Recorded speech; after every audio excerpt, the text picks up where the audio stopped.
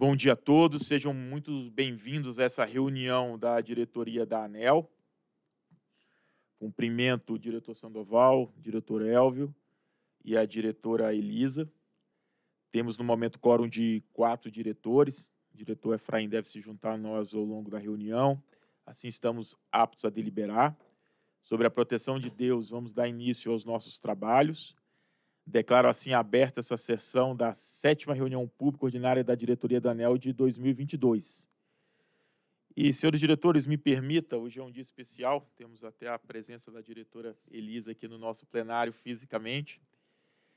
Eu gostaria de dizer aos senhores que a data de hoje tem uma importância histórica e significado especial. Nesse 8 de março, nós celebramos o consagrado Dia Internacional da Mulher data na qual todos nós precisamos não apenas homenagear, como reverenciar as conquistas promovidas por mulheres nessa luta por um mundo mais justo, mais equilibrado e mais equalitário.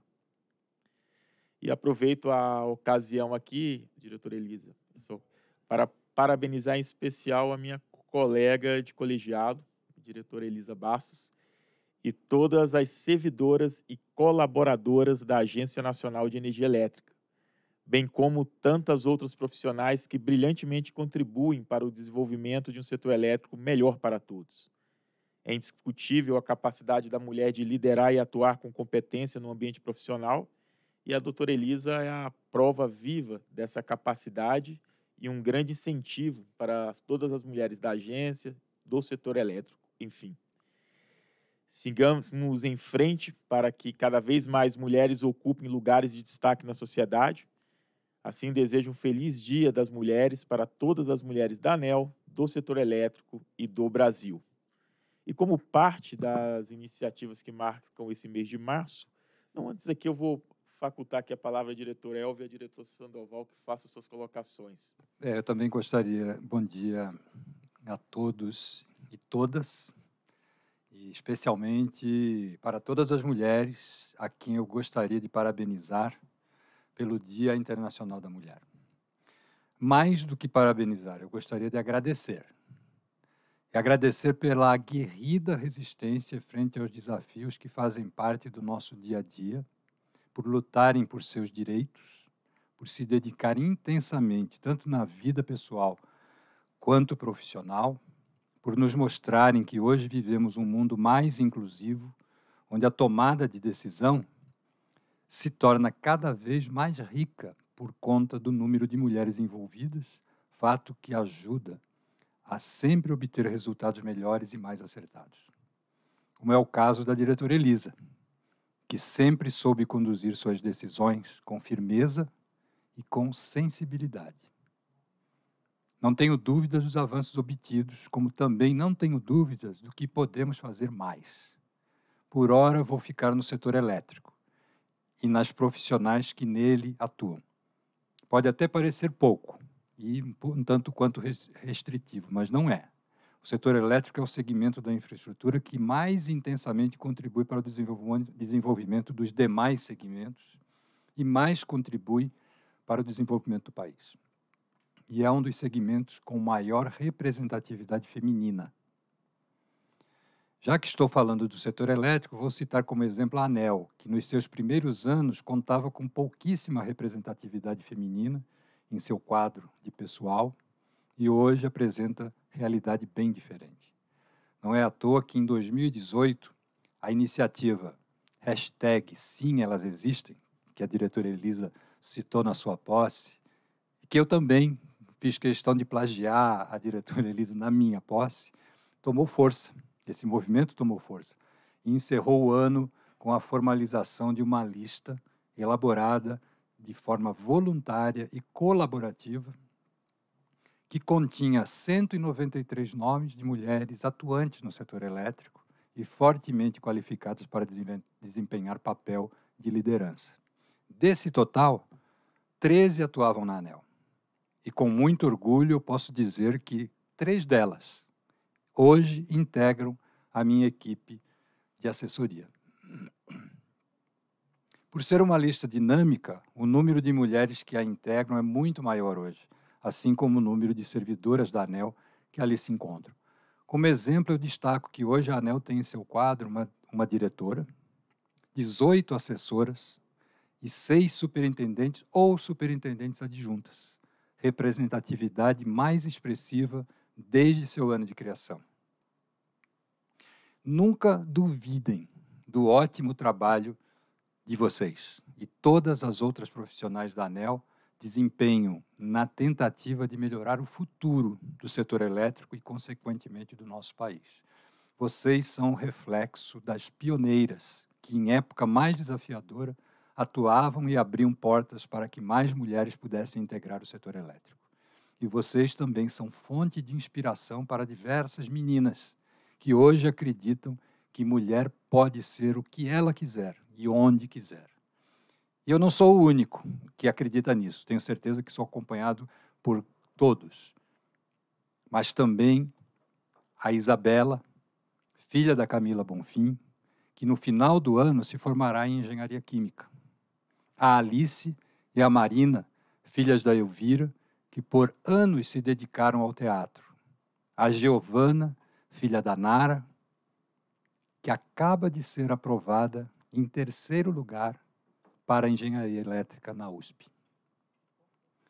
A determinada Caterine, filha da Ludmila, que de tão corajosa já tirou foto ao lado de jacaré no Pantanal.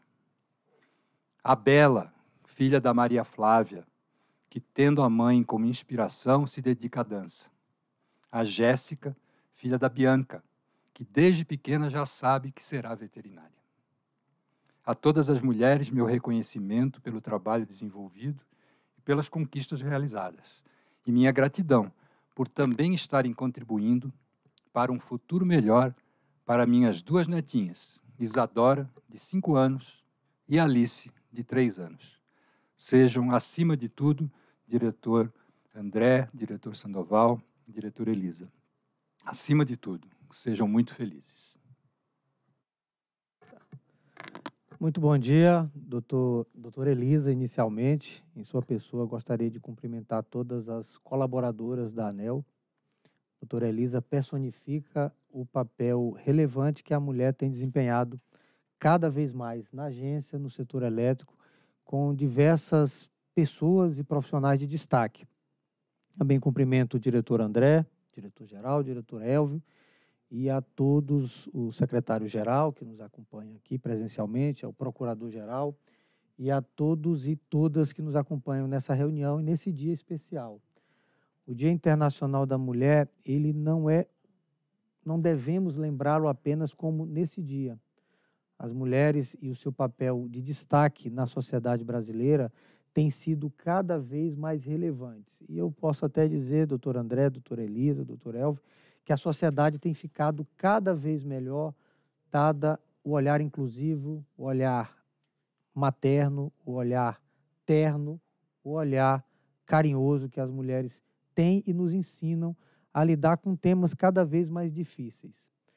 Ao longo dos vários anos que, que eu acompanho a vida profissional, não tanto quanto a vida bastante rica profissionalmente, como a do Dr. Elvio e de outros colegas, há nitidamente uma grande mudança nas, na forma como a ANEL tem atuado ao longo desses anos. É, quando a minha experiência como superintendente de fiscalização, eu me recordo de uma, assim que eu iniciei, doutora é, Elisa, que é meio que era uma regra, mulheres não poderiam trabalhar na área de fiscalização, porque tinha que viajar, tinha que ficar tempo fora de casa. Isso era difícil para as mulheres. Como que as mulheres não pudessem compartilhar a sua vida profissional com a sua vida pessoal? Isso, graças a Deus, graças a diversos incentivos que ocorreram, mudaram. Ao longo desse período, por exemplo, a área de fiscalização da geração já teve duas assessoras, né? tanto a doutora Camila como também a doutora Ludmila, foram assessoras dessa área. Atualmente, a área de fiscalização, a superintendente adjunta é a doutora Jaqueline.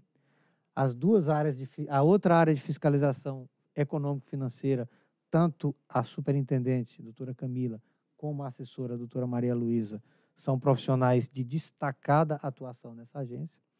Então, eu diria, é, doutora Elisa, que com a sua chegada aqui, esse quadro se modernizou, ele se ampliou, mas isso já era um fruto da mudança de comportamento, da mudança de visão que a ANEL teve exatamente por ser uma agência de vanguarda, uma agência que está à frente do seu tempo e tem demonstrado isso com a própria evolução do que fizemos e o que estamos fazendo ao longo de todo esse tempo. O doutor André fez uma fala bastante é, honrosa, bastante é, muito, bem, muito bem colocada de como evoluímos ao longo desse tempo. O doutor Elvio conseguiu mesclar aspectos da vida profissional e da vida pessoal de pessoas e profissionais competentes dentro da agência. Hoje nós temos, isso não foi nenhum, eu não posso até dizer que foi um ato voluntário, ele ocorreu como as coisas devem ocorrer, naturalmente. Reconhece-se o mérito e dá-se a oportunidade. Então, o gabinete da doutora Elisa tem profissionais de muito valor, mulheres, no meu gabinete também, no gabinete do doutor Elvio, como já falado, e doutor Efraim, doutor André. E o que a gente poderia dizer, mais uma vez, é muito obrigado por todas as contribuições que foram feitas ao longo de todos esses anos. Aprendemos muito com a convivência diária com nossas colegas de trabalho, como também esperamos e temos certeza que ocorreu. As mulheres também aprendem bastante conosco e a sociedade ela é formada e ela cresce com essa diversidade. A diversidade de pensamento, a diversidade de gênero e todas as diversidades que formam, inclusive, a nossa nação.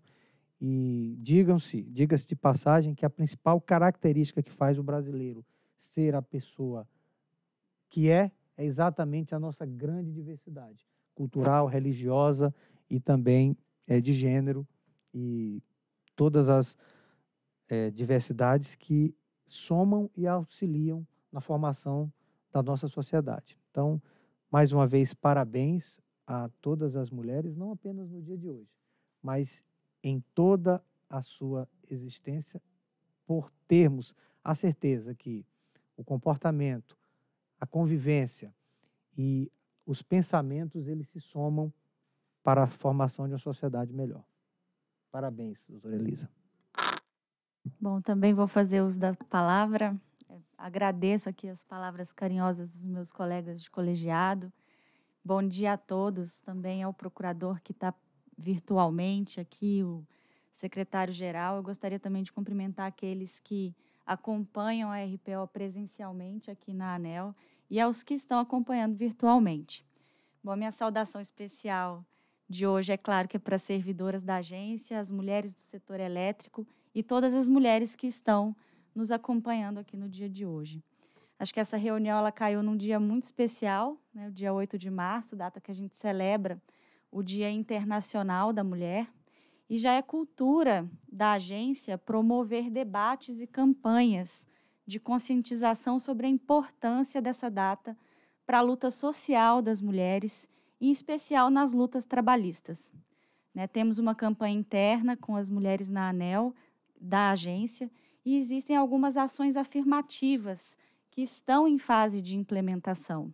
Eu poderia citar aqui que o colegiado ontem, durante a reunião administrativa, decidiu algumas ações em prol da equidade de gênero no setor elétrico, como, por exemplo, a implementação de um canal exclusivo e confidencial para denúncia de violência contra a mulher e assédio sexual. Promoção também de ação de capacitação sobre masculinidade saudável no ambiente de trabalho e para a formação de lideranças femininas, bem como também instituir cursos sobre o setor elétrico a serem elaborados para mulheres que estejam ou que se interessem em trabalhar no setor elétrico. Também facultar aos servidores em regime de jornada presencial ou no programa de gestão na modalidade parcial ou presencial, a concessão de 30 dias em regime de teletrabalho integral após expirado o prazo regulamentar da licença paternidade. E também solicitar à SAF uma apresentação de uma possibilidade de disponibilização nos banheiros femininos de dispenser com absorventes íntimos.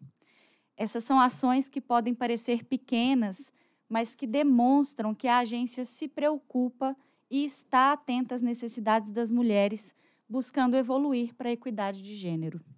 E dito isso, eu gostaria de falar de uma cantora que eu sou fã e que me inspira muito, que é a Nina Simone. Ela é uma cantora negra, norte-americana, que nasceu em 1933 e viveu grande parte da sua vida sobre um regime de segregação racial nos Estados Unidos. Quando ela ainda era uma criança, uma senhora branca a ouviu tocar piano na igreja e resolveu lhe dar aulas de piano clássico e montou uma espécie de fundo para que ela pudesse estudar piano em uma faculdade quando fosse adulta. Nina Simone era uma pianista brilhante e o sonho dela era ser a primeira pianista clássica negra nos Estados Unidos. Mas ela foi recusada na universidade por causa da cor da sua pele. E nunca pôde realizar o sonho de tocar em uma orquestra de música clássica, que era um reduto das pessoas brancas. Para sustentar a família, ela começou a tocar piano em bares na Filadélfia, até que um dia pediram para que ela cantasse. E, enfim, ela fez muito sucesso mas em todas as suas entrevistas ela deixava claro a sua frustração em não ter se tornado o que queria ser, uma pianista clássica. No auge da sua carreira, ela se casou, o marido se tornou empresário, mas explorava o seu trabalho e a surrava constantemente. Ela começou a ter um novo propósito de vida, quando começou a se engajar na luta pelos, pelos direitos civis com Martin Luther King e Malcolm X entre outras pessoas. Porque ela precisava lutar para libertar a si mesma e a sua comunidade. Luta que, de certo modo, lhe custou a carreira e a sanidade. Bem, eu fiz esse histórico da vida da Nina Simone para chegar a uma entrevista em que uma repórter pergunta o que significa liberdade para ela. E ela respondeu: Para mim, liberdade é não ter medo nenhum medo. Acho que vocês já devem ter visto essa frase estampada em camisetas por aí, se tornou uma espécie de lema das lutas feministas e antirracistas. Essa frase, que é tão bonita, me assombrou nos últimos dias. Na verdade, toda a história de vida da Nina Simone é um poderoso exemplo de como as violências sociais, perpetuadas pela cultura, podem quebrar não só o corpo, mas o espírito da mulher. Sei que hoje eu poderia ter escolhido falar só dos avanços das brilhantes mulheres do setor elétrico ou de grandes lideranças, mas infelizmente nós somos uma privilegiada exceção e eu não me sinto confortável com isso. Precisamos urgentemente mudar o cenário e reverter um quadro de desigualdade e violência que tem sacrificado milhares de mulheres ao redor do mundo. Esses dias eu comecei a ler os dados do Anuário de Violência do Brasil dos últimos dois anos e a conclusão é que nós ainda estamos sobre a égide do medo. O número de mulheres que sofrem violência no Brasil aumentou vertiginosamente, assim como o número de feminicídios. estatisticamente, pode-se dizer que a cada 24 horas, quatro mulheres são assassinadas no Brasil. E quando a gente vê a origem dessas mortes e agressões, o susto ainda é maior, porque são praticados por companheiros e familiares. Em outro campo, os relatórios do Ministério do Trabalho informam que nos últimos dois anos as mulheres perderam mais postos de trabalho do que os homens. Boa parte são as chefes de família, ou seja, os filhos só contam com a renda da mãe para o sustento da casa. Até porque é bem conhecida a relação de abandono parental no nosso país. Então, em que pese eu me lembrar e me agradar muito com todos os avanços das mulheres ocorridos nos últimos tempos, eu me entristeço em saber que não é para todas e que as desigualdades persistem em grande escala. Eu agradeço todos os dias pelo grande privilégio de estar aqui, de ter chegado a essa posição e ter ao meu lado um time de mulheres incríveis, brilhantes, enérgicas e talentosas. Não falo apenas das servidoras do meu gabinete, mas de todas as equipes da ANEL. E quando eu vejo o potencial dessas mulheres da ANEL, eu penso em quantas meninas e mulheres brilhantes existem por aí, só à espera de um sim, de uma oportunidade.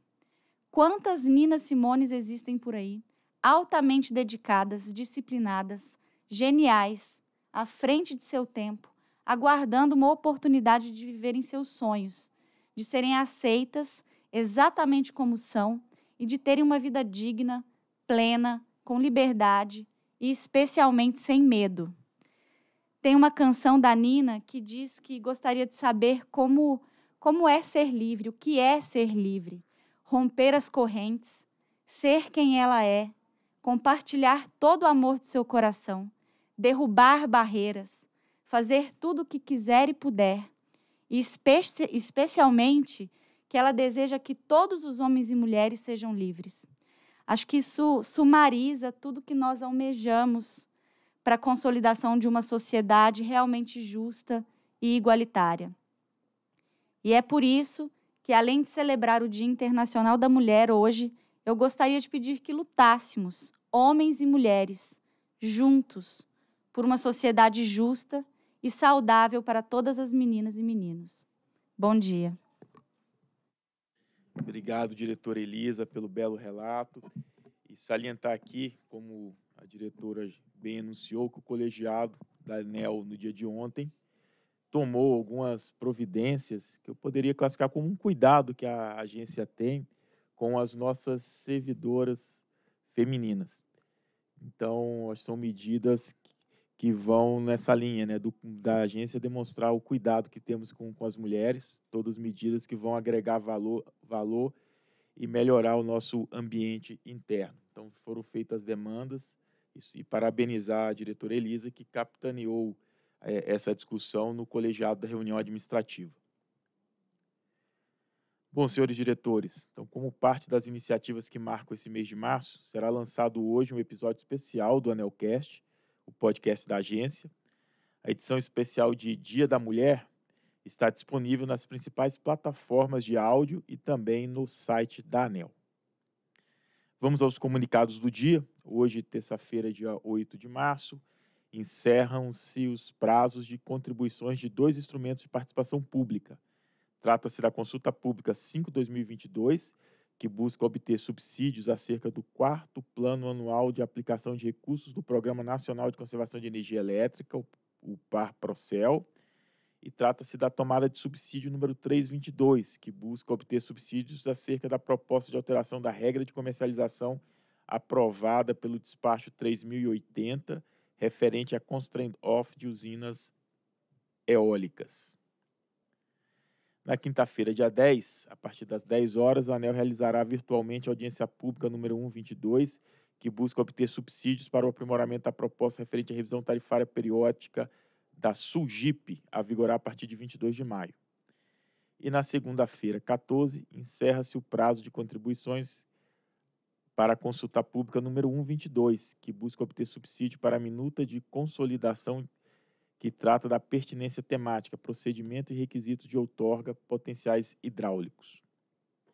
Bom, concluídos os informes do dia de hoje, vamos então, senhores diretores, apreciar a ata da sexta reunião pública ordinária da diretoria de 22, que foi a ata da reunião passada, que foi realizada em 22 de fevereiro.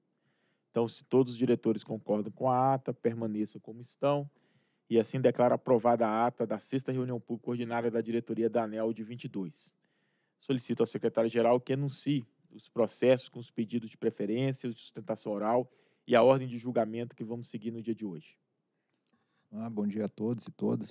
É, inicio aqui também parabenizando todas as mulheres pelo, pelo dia, em nome aqui da diretora Elisa e das nossas secretárias ali que sempre trabalham é, recepcionando né, a reunião pública ordinária, Elizabeth e a Thelma.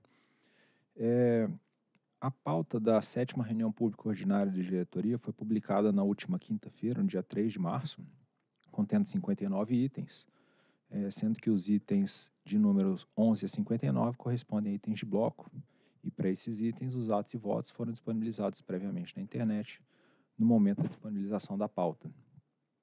A pedido de destaque de dois processos, 16 e 22, e foram retirados de pauta os itens 1, 2, 3, 5, 6, 9, 21, 23, 28, 30 e 33. E, além disso, há pedido de sustentação oral para os itens 16 e 22, de forma que a ordem de deliberação definida por essa presidência será iniciada pelo bloco, seguida pelos itens 4, 7, 8, 10, 16 e 22. Era isso, senhores diretores. Agradeço ao secretário-geral. E vamos à apreciação, então, dos itens do bloco. Então, submeto os itens do bloco desta pauta à votação e apreciação dos senhores diretores. Eu aprovo o bloco. Também aprovo os itens do bloco. Eu também aprovo os itens remanescentes do bloco.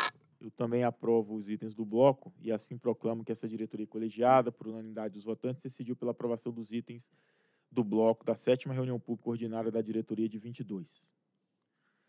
Bom, vamos dar início à ordem do dia. Estão presentes aqui no, no plenário Superintendente de Regulação de Geração, doutor Alessandro Cansarino, Superintendente de Concessão da Geração, doutor Cabral, e o Superintendente Adjunto de Regulação da Distribuição, doutor Hugo Lamin.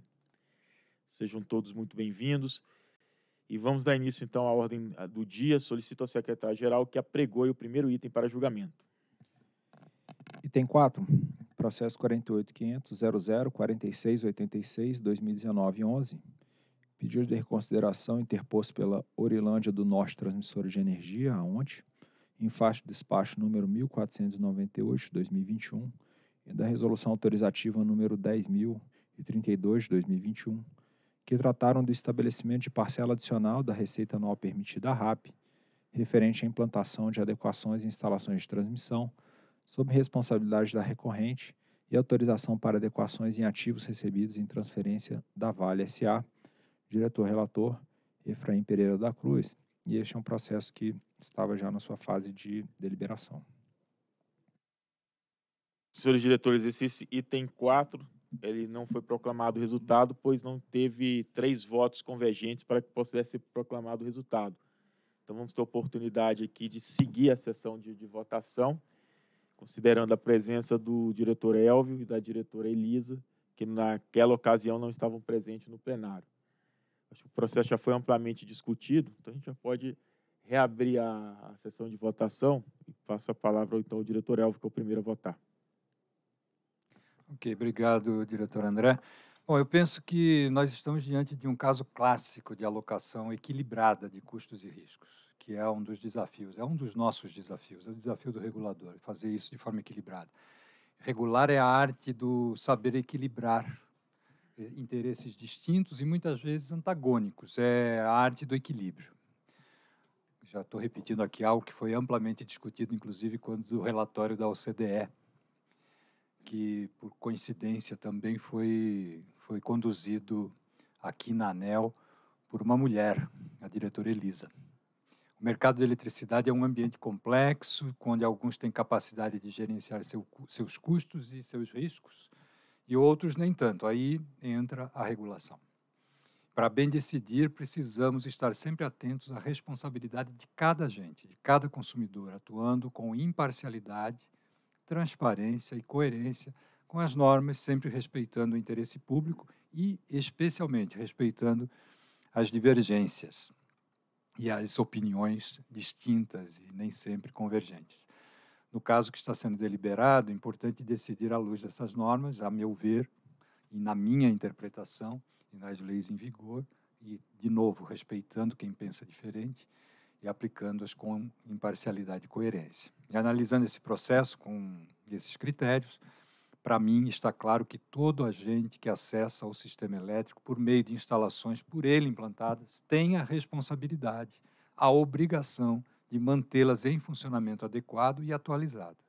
Se assim não o fizer, porá em risco o próprio sistema elétrico.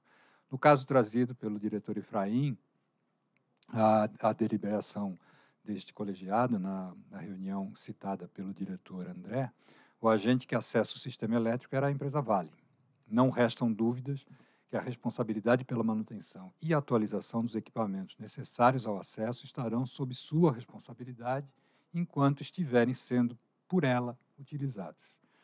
Fim da utilização e havendo necessidade de que o sistema os mantenha em operação, deverão ser entregues ao sistema nas mesmas condições iniciais. Como restou demonstrado, também a meu ver, no voto do diretor relator, que os equipamentos entregues pela Vale ao novo usuário careciam de manutenções que deveriam ter sido realizadas por ela enquanto esteve sob seu uso, e assim, por conta disso, eu concordo com o encaminhamento proposto pelo relator de que eventuais despesas decorrentes de manutenções, trocas ou ajustes dos equipamentos utilizados pela Vale para acessar o sistema elétrico, enquanto sub, sob sua responsabilidade, devem ser a ela atribuídos. E assim, eu voto com o relator. Bom, penso... Doutora Elisa Bastos. Bom, eu penso que aqui a gente tem duas opções regulatórias que são válidas, né? mas eu acredito que o encaminhamento do diretor Sandoval ele está mais aderente ao sinal que devemos dar para esses casos de transferência. Né? Quem recebe as instalações tem que ter o cuidado de avaliar as condições dos ativos que estão sendo transferidos né? e a responsabilidade pelo ativo que é recebido. Acho que incluir a ANEL nessa relação é compartilhar riscos que são inerentes à atividade da transmissora. Eu até entendo que a proposta do diretor Efraim ela busca criar um caminho de solução que facilite a cobrança né, pela ONTE desses investimentos aí que, que deveriam ter sido feitos pela Vale antes da própria transferência. Embora seja ali uma alternativa mais segura do ponto de vista de manutenção do equilíbrio da concessão, para mim ela passa um sinal regulatório menos adequado, uma vez que a gente está trazendo para a agência uma questão de âmbito que é de relação é, bilateral entre os agentes, né? Por isso, eu, eu acompanho o entendimento trazido pelo diretor Sandoval. Bom, então eu proclamo que a diretoria da, ANEL, por maioria, decidiu dar provimento ao recurso da ONTE, determinar a Vale a obrigação financeira decorrente das adequações e correções intensificadas em suas instalações, cabendo a ONTE a execução das devidas adequações, mediante estabelecimento dos encargos de conexão calculados pela ANEL e regidos por meio de aditivo contratual do CCT, nas instalações de 230 kV, integradora Unsapuma e, uns, e aí, subestação Sapuma, para os seguintes itens: sistema de coleta de, de oscilografia, sistema de supervisão e controle, sistema de telecomunicação e teleproteção, incluindo cabo para-raio com fibra ótica e sistema de coordenação de isolamento e de para-raios e proteção de barras de 230 kV da onça puma e demais itens conforme o dispositivo de voto do relator. Próximo processo. Item 7. Processo 48 500 2489 2020 00. Requerimento administrativo interposto pelas empresas Enel Green Power São Gonçalo 7 SA, Enel Green Power é, São Gonçalo 8 SA, uh, Enel Green Power São Gonçalo 11 SA e Enel Green Power São Gonçalo 12 SA, com vistas à modificação de contratos de uso do sistema de transmissão CUST celebrados pelas requerentes. Diretora relatora, Elisa Bastos Silva. Diretor relator do voto vista, Sandoval de Araújo Feitosa Neto. Muito obrigado, senhor secretário. Senhores diretores, no âmbito da 40 reunião pública da diretoria da ANEL, realizada no dia 7 de dezembro de 2021, solicitei vistas do presente processo. É o que tem, é o que tem se a relatar. Como é um voto vista, né, a Procuradoria já se manifestou, doutor Sandoval Tom retoma a palavra à relatoria. Perfeito. Muito obrigado, doutor André. Bem, senhores diretores, este processo, como também o item 8 da pauta, eles trazem uma discussão que eu julgo bastante relevante para que possamos é, travar aqui no, no colegiado, haja vista que, compulsando não apenas estes autos, os autos deste processo, mas também outras decisões que já tomamos aqui no âmbito da agência, a, apesar de termos um evento completamente é, exógeno ao setor elétrico e que é o ponto central dessa discussão, tivemos outros eventos que trouxeram a mesma circunstância para, para a pauta, qual seja é, de quem é efetivamente o risco quando dá antecipação de, de, de diversos, de alguns empreendimentos, seja de geração de transmissão. No caso concreto aqui, é o empreendimento de geração. e como isso é interpretado à luz das obrigações que são assumidas perante o sistema elétrico, especialmente aqui o ponto central da discussão é a questão do acesso ao sistema de transmissão e os custos decorrentes dessa decisão.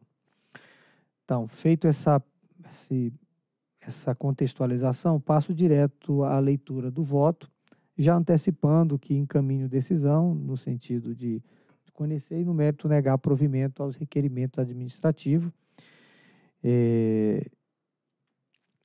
Bem, contextualização da discussão. A tabela a seguir ajuda a contextualizar a presente discussão.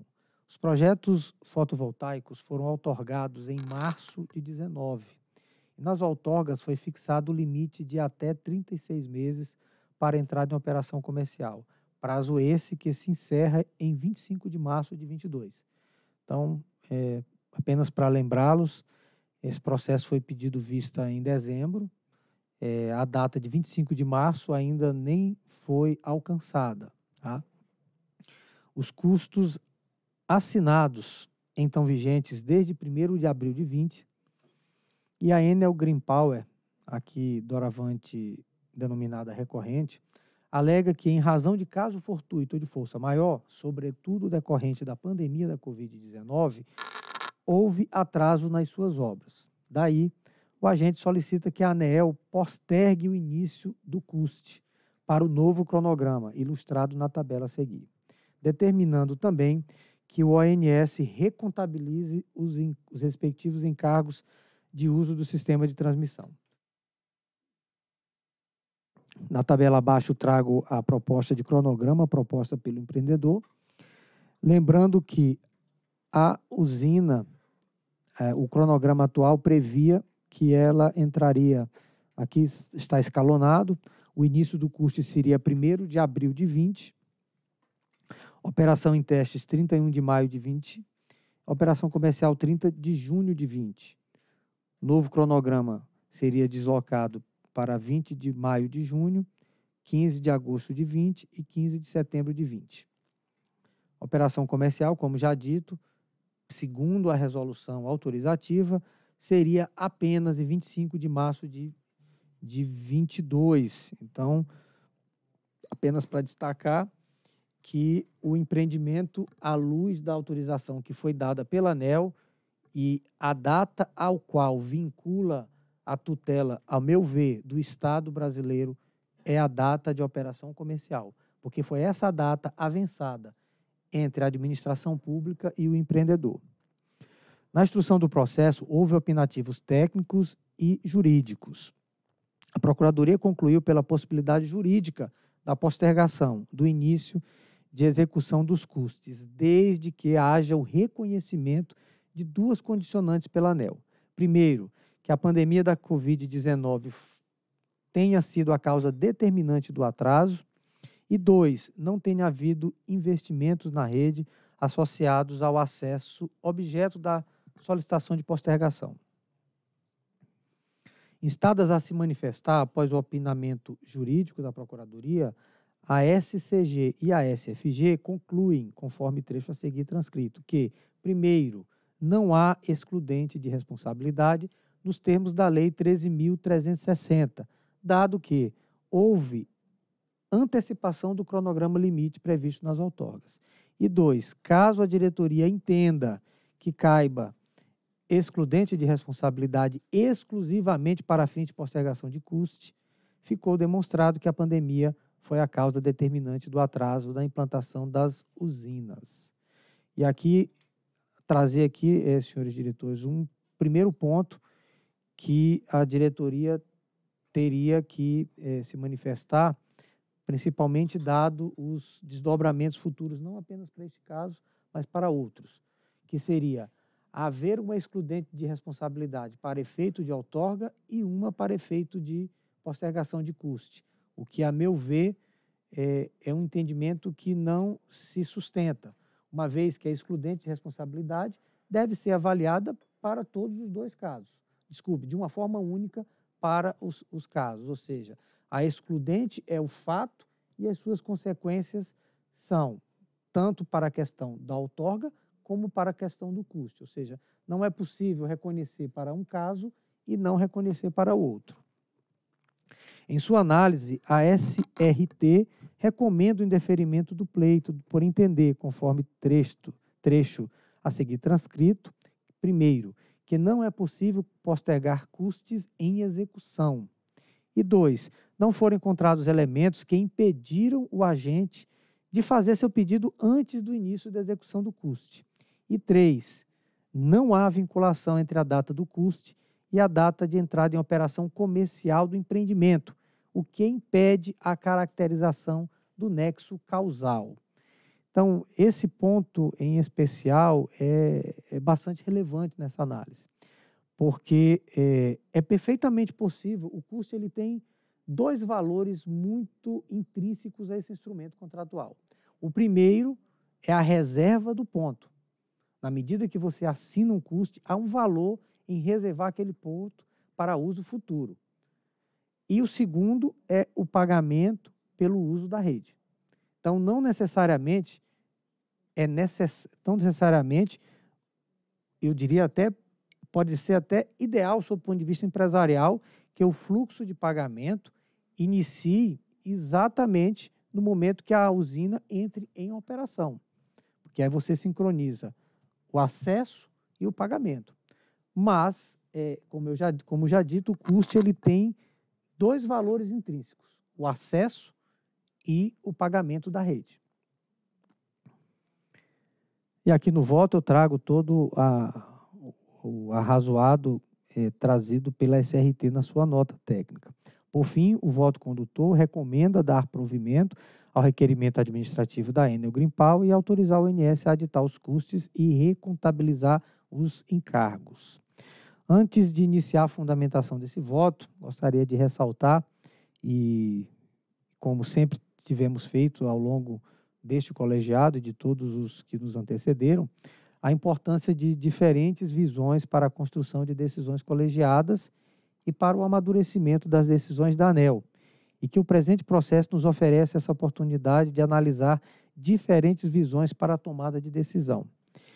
E, e aqui, é, diretor Elisa, eu fiz, como eu dito no início do voto, fiz questão de rememorar decisões emblemáticas que nós tivemos aqui no âmbito desse colegiado, com uma discussão mais recente, no caso da transmissão, como também uma mais antiga, referente a, a um pedido similar que ocorreu na época pela usina de Santo Antônio, que fez uma previsão de antecipação e houve eventos legítimos de reconhecimento, como greves, manifestações no canteiro de obras, mas a decisão desse colegiado foi: a decisão por antecipar a obra foi por sua conta e risco. A data ao qual o Estado tem que tutelar é a data da outorga. Datas eventualmente ajustadas é, no âmbito privado, por estratégias empresariais que a ANEL desconhece e nem deve conhecer, porque ela não deve fazer parte dessa, dessa decisão, elas não devem ter a tutela da agência.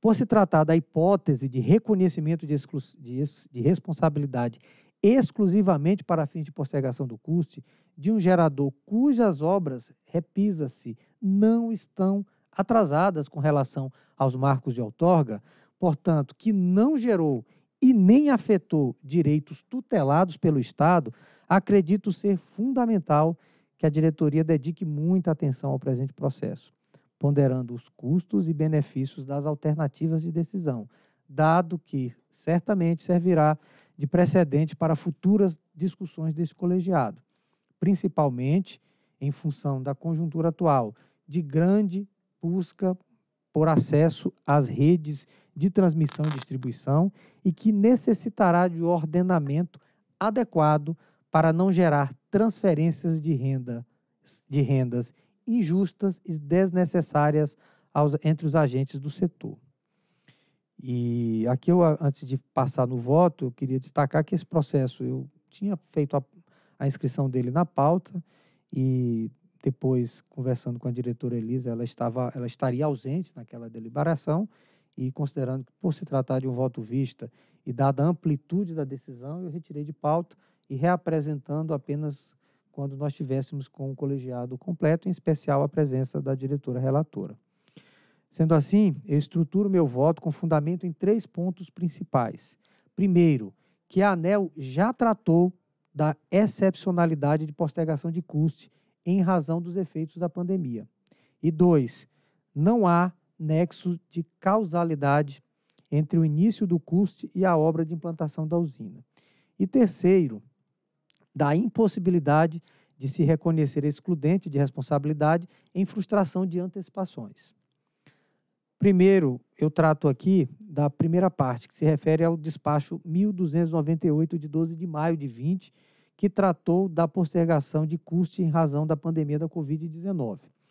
O processo que re resultou no supracitado despacho, relatado pelo então diretor Júlio César, tratou dos impactos no início da execução dos custos devido à pandemia causada pela Covid-19.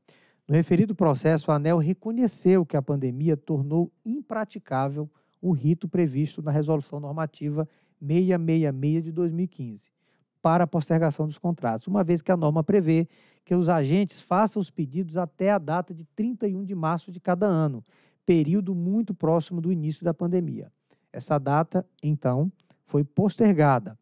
Em 31 de março de 20, os impactos da pandemia ainda eram pouco conhecidos e de difícil prognóstico. Nesse sentido, a ANEL decidiu postergar excepcionalmente para 29 de maio de 20, a data do início de postergação dos custos. No entanto, e aqui eu faço questão de destacar, é, entre aspas, o trecho do voto do eminente relator da matéria, a proposta ora apresentada refere-se à extensão do prazo, sendo mantidos os critérios de postergação que devem ser avaliados pelo ONS, conforme disciplina a Resolução Normativa 666 de 2015. Em especial, primeiro, a existência ou não de investimentos na rede associados ao acesso, e dois, a vedação à postergação dos custos em execução, e três, a avaliação dos custos que tiveram suas datas de início de execução antecipada, fecha aspas. Ou seja, mesmo quando tratando dos efeitos extraordinários e imprevisíveis da pandemia e, portanto, caracterizadores de situações elegíveis como casos fortuitos ou de força maior, esta diretoria limitou a postergação, a possibilidade de postergação de custos àqueles que não estavam em execução.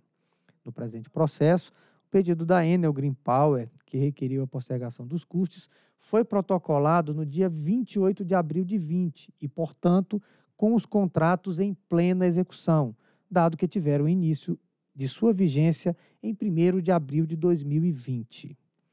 Vale destacar que o, Júlio, o diretor Júlio César esclareceu a decisão tomada pela diretoria à própria Enel Green Power no dia 22 de maio de 20, conforme trecho a seguir transcrito. Eu vou ler aqui apenas a parte que foi trazida em especial. Abre aspas esclarece que a decisão cria extraordinariamente, em razão dos impactos associados à pandemia de Covid-19, exceção à regra estabelecida na Resolução Normativa 666 de 23 de junho de 15, ao mesmo tempo em que reitera a necessidade de observância às condições estabelecidas no mesmo normativo para eventual postergação. E aqui, em especial, a vedação à postergação dos custos em execução, fecha aspas.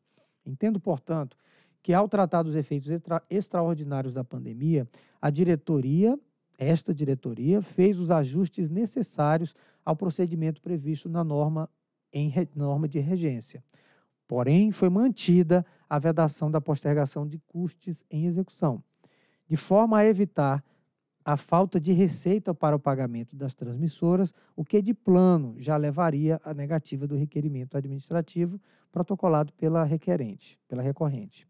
Ainda assim, caso se entenda que o presente caso merece ser analisado de forma particular e apartada, busco mostrar na sessão seguinte que também não há nexo de causalidade entre a data de início do custe e as obras de implantação dos empreendimentos, critério indissociável e necessário para a fruição do direito ao reconhecimento da excludente de responsabilidade e suas consequências, no caso, a postergação do custe. Quanto à ausência do nexo de causalidade, Um dos requisitos imprescindíveis e, portanto, necessários ao reconhecimento do excludente é a comprovação do nexo de causalidade entre o evento extraordinário e a responsabilidade que se pretende afastar. Usualmente, avalia-se o atraso na entrada em operação comercial e, portanto, utiliza-se o cronograma previsto nas outorgas como referencial a ser comparado com o cronograma efetivamente realizado, impactado pelos eventos extraordinários alegados pelo requerente. Então, o caso em questão, nós temos, nós não temos o atraso, nós temos a data que foi fixada pela, pela ANEL, ou seja, a data, como eu já disse, que tem que ser tutelada. Os direitos do agente e os direitos e obrigações, inclusive da administração pública, referem-se à tutela daquela data que foi convencionada. Qualquer outra data anterior àquela data, ela corre por livre, por risco do, e decisão do agente. E como é feito a análise de excludente de responsabilidade? Eventualmente, a data ultrapassa a data fixada pela ANEL e a administração avalia as razões para aquele atraso, identificando se há ou não nexo de causalidade, ou seja, se há conexão com a causa e o atraso verificado. Neste caso, nós estamos em uma fronteira até então desconhecida, que é antes da data fixada. Então, não temos, não sei e nem devemos saber, como já dito, por que a empresa antecipou em dois anos a sua entrada em operação comercial. Seguramente porque teve compromissos empresariais e comerciais que lhe deram segurança para isso. Agora, ocorreram fatos que de, estão, a, a, juízo desse relator, na área ordinária, desculpe, na área ordinária do agente. Ou seja, ele avalia isso sobre a sua ótica. Eventualmente, se houve eventos extraordinários, eles não devem ser tutelados, uma vez que não estão é, vinculados à data, mais uma vez, a data da outorga, que é a data a ser é, tutelada pelo Estado. O procedimento adotado pela ANEL consiste de um entendimento assentado pela agência, e aqui eu trago desde 2014, que busca evitar a formação de um banco de dias ou conta gráfica, no qual o agente vai contabilizando eventos que podem ser enquadrados como casos fortuitos ou de força maior, para apresentá-los ao regulador em momento oportuno, sem que haja uma real comprovação de causa e efeito, ou seja, sem uma demonstração inequívoca de os eventos citados efetivamente causaram os atrasos cujos efeitos se pretende afastar. Aqui eu trago o trecho do voto do despacho 1491 de 2014 do voto condutor do despacho 1491 de 2014. Ainda que o outorgado de geração tenha, não tenha interesse em retardar obras, bem como o início de suprimento de seus contratos regulados de comercialização, o fato é que algumas da, decisões da ANEL têm sugerido a formação de uma espécie de conta gráfica, um verdadeiro banco de dias, durante o qual o empreendedor terá sua responsabilidade eximida na hipótese da ocorrência de atraso ainda que não haja comprovação fática do nexo de causalidade entre os eventos suscitados e os atrasos incorridos. Fecha aspas. Ocorre que no presente processo, mais uma vez, não houve atraso na entrada em operação comercial, que ocorreu efetivamente em dezembro de 20, enquanto as outorgas estabelecem a data de 25 de março de 22 como data limite para entrada em operação comercial. Os argumentos da empresa, como já dito, são que a pandemia da Covid-19 teria impactado seu cronograma de implantação, o que justificaria a postergação da data de início do custe, cuja vigência teve início em 1 de abril de 20. Acontece que, como bem analisado pela SRT, não há obrigatoriedade, responsabilidade no custe para que as centrais geradoras entrem em operação comercial na data contratada, pois a existência de um custe assinado tem, entre outros direitos, como já dito, a reserva do ponto de conexão e o direito ao uso efetivo da rede. O fato da central geradora não iniciar sua operação na data de início do custe não representa qualquer inadimplência com relação ao custe. a empresa, a empresa honra e paga os seus custos em função do direito que este instrumento lhe outorga, qual seja a garantia da reserva do ponto para conexão. De forma contrária, por exemplo, quem deve ter a sua operação na data contratada é quem prestará o serviço, ou seja, o sistema de transmissão. Dito de outra forma, não há necessidade de simultaneidade entre o início de vigência de um custe e a data de entrada em operação de uma usina. E aqui, doutor Elvio e doutora Elisa, nós temos diversos casos em que o empreendedor paga pelo uso, paga pela conexão e pelo uso, sem necessariamente utilizá-lo. Seja porque é, houve um descasamento do seu planejamento de integração do empreendimento, mas o fato é que, se não assinar o custe, não há reserva do ponto. Então, é, o custe ele tem, como já dito, dois valores muito bem representados: o direito à conexão, o direito à reserva e o direito à, à, à sua conexão ao uso da rede.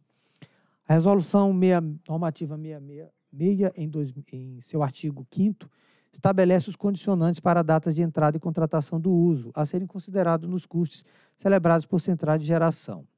As únicas obrigações impostas são a limitação do início do custe aos marcos definidos na outorga e que devem contemplar o período de operação em teste. Logo, a decisão do agente para antecipação do custe para a data anterior àquela data prevista nas outorgas pode ocorrer, mas trata-se de uma operação, uma estratégia empresarial e considerando que não decorreu de uma decisão ou imposição de responsabilidade ou obrigação por parte do Estado regulador não deve ser tutelada ou protegida. Este entendimento tem sido reforçado a cada nova outorga emitida pela ANEL, de forma que a diretoria da ANEL tem repisado que somente a assinatura do CUST, após o parecer de acesso, garante a disponibilidade do ponto de conexão. Logo, uma hipótese e estratégia possível a ser tomada pelos agentes é a decisão de antecipar a data de assinatura e início dos custos, como forma de assegurar o seu ponto de conexão, ainda que as obras possam ser concluídas alguns meses após o início de sua vigência. A decisão da empresa de antecipar seu cronograma decorreu de informações e premissas que a ANEL não conhece e nem deve conhecer, e, portanto, a ANEL não participa, não participou da decisão de, do cronograma de antecipação pretendido pelo gerador. Sob o ponto de vista regulatório, não se pode assumir que o cronograma da antecipação seria a entrada em operação em teste no dia em que teve início a vigência do custe. Pelo contrário, uma vez que a venda de energia tem um valor muito maior do que o custe, o custo, o valor de, de conexão e uso da rede, é razoável e esperado supor que o gerador contrate o uso do sistema de forma conservadora, evitando a situação de estar pronto para testar e não conseguir antecipar o seu custo. Assim, uma vez que não é conhecido o cronograma pretendido e nem é correto afirmar que o cronograma de antecipação seria entrar em teste na data de início do custe, não é possível analisar o nexo de causalidade. A ANEL conhece o cronograma aprovado na outorga e aquele efetivamente realizado, mas desconhece o cronograma contrafactual, ou seja, aquele que seria realizado se não houvesse o evento extraordinário, inviabilizando a materialização do nexo de causalidade. Caso o entendimento apresentado não seja acatado, voltaríamos a quantificar bancos de dias, a serem utilizados para postergação de custos sem a demonstração do nexo de causalidade, trazendo insegurança e incertezas na discussão já superada. Nesse ponto, vale fazer um pequeno comentário em relação ao posicionamento da Procuradoria. Embora concorde com a tese de que é possível a postergação do custo em razão da excludente de responsabilidade, acredito que é necessário, mas não suficiente, avaliar se a pandemia da Covid-19 foi a causa determinante do atraso na previsão de implantação dos empreendimentos. A necessidade de um elemento adicional, que no presente processo não está materializado, que é o nexo de causalidade entre a pandemia, que causou, que atrasou a, entre a pandemia, que atrasou as obras, e a data de início do custe. Ademais, a Procuradoria citou em seu parecer causa determinante do atraso. No presente caso, a frustração, leia-se, a frustração de antecipação e não atraso, o que é o tema da próxima sessão do voto. A nota técnica da SCG e SFG concluiu que não cabe excludente de responsabilidade nos termos da Lei 13.360, uma vez que os empreendimentos, como já dito, foram antecipados e não atrasados. Poderia haver a postergação de custos caso a diretoria entenda que caiba excludente de responsabilidades exclusivamente para fins de postergação do custo. A meu ver, com a devida venha, não caberia avaliação de excludente de responsabilidade com a relação a eventual atraso de obra exclusivamente para fins de postergação do custo, por não ter amparo regulatório, além de possuir precedentes firmados pela diretoria desde 2015 e 2016, mesmo antes da publicação da Lei 3.360. Naquela oportunidade, a diretoria avaliou o pedido de excludente de responsabilidade da UHE Santo Antônio para afastar e ou postergar uma série de obrigações reguladas, dentre elas a cobrança relativa aos custes.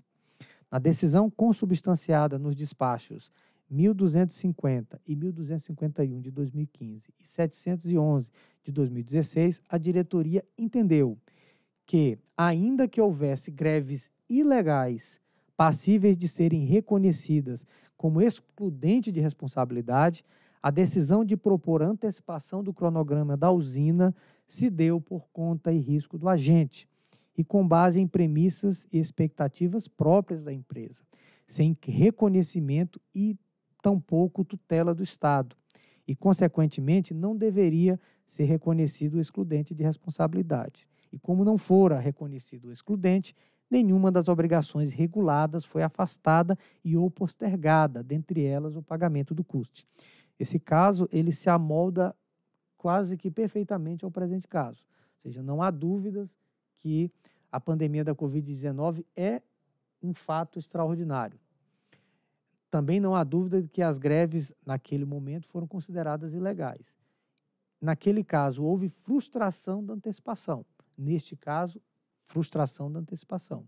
A diretoria decidiu, naquela época, por não acatar a, ou desobrigar a, emprega, a empresa de pagamento das suas obrigações reguladas. No caso, o custe, que também, no caso concreto, é o mesmo. Similarmente, por meio do despacho 977 de 2021, esta diretoria indeferiu excludente de responsabilidade causado pela pandemia, pela frustração de expectativa da antecipação das linhas de energia do Sertão Transmissora, Leste.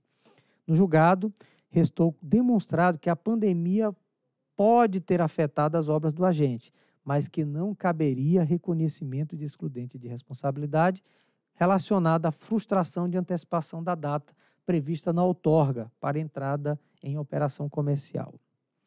Destaca-se que a transmissora que tem sua antecipação frustrada também celebra contratos regulados. Aqui nós vamos citar os CCTs, com, que ela firma com os usuários da rede, e os CCIs, que são firmados com transmissoras, assumindo, portanto, compromissos financeiros e técnicos associados à data pretendida da antecipação. Assim, a situação também é muito similar à aqui analisada. Nesse sentido, seja antes ou depois do advento da Lei 13.360, não deve haver análise de excludente de responsabilidade para ampliação do prazo de outorga e postergação dos CCARs, e outra análise relativa aos custos ou qualquer obrigação regulada. Deste modo, compete à ANEL fazer uma única análise de excludente, mas não para os casos de frustração de antecipação do cronograma, pelo fato de ser uma discricionariedade do agente em propor antecipação por sua conta e risco, por uma opção empresarial, que não foi imposta por essa agência e nem tampouco por outros órgãos de Estado. E por essa razão não cabe proteção. Com relação aos precedentes, a requerente traz a comparação com o julgado da UTE Porto de Sergipe, por mim relatado. No caso, o pedido de postergação do custo foi feito em 22 de, de novembro de 2018, enquanto o seu início de vigência ocorreria em 1 de março de 19. Ou seja, o pedido da empresa foi feito muito antes do início do seu custe e, portanto, cumprido o requisito mínimo da norma de regência. Ademais, restou comprovado que a empresa não teve condições de pedir até o dia 31 de março de 18, conforme previsto na norma, porque o fato extraordinário ocorreu após o encerramento desse prazo. Ademais, no referido caso, restou comprovado pela diretoria o nexo de causalidade entre o evento extraordinário, aqui as greves dos auditores fiscais, e o atraso dos marcos do cronograma previsto na outorga, sobretudo a entrada em operação em teste. Além disso, o custe se iniciava exatamente no dia da entrada em operação em teste previsto na outorga. No presente caso, o pedido foi feito com o custe já iniciado. A outorga sequer traz marcos intermediários. Não houve atraso com relação à data prevista na outorga e não é possível anex, é, assegurar o nexo de causalidade entre os efeitos da pandemia e o início dos custos. Com a devida e máxima vênia, acredito que o entendimento aqui trazido está mais alinhado com as mudanças do paradigma de expansão do setor elétrico, fortemente impulsionado pelo ambiente de contratação livre, impulsionado também pela maior participação de fontes solares e eólicas, cujas outorgas de autorização são de rápida e simples implementação e muitas vezes sequer traz um cronograma de implantação. Nesse sentido, acredito que não cabe à ANEL tutelar todos os eventos imprevisíveis e extraordinários que podem ocorrer em antecipações, as quais a ANEL não possui qualquer informação sobre a estratégia negocial dos agentes regulados. Do exposto, voto pelo indeferimento do pleito por entender que a ANEL já tratou da excepcionalidade de postergação de custos em razão dos efeitos da pandemia, afastando a possibilidade de custos em andamento serem postergados e trazendo as condições previstas, as quais não se amoldam ao presente caso. Não há nexo de causalidade entre o início do custo e a obra de implantação da usina. E três, não se deve reconhecer excludente de responsabilidade em situações de frustração de antecipação.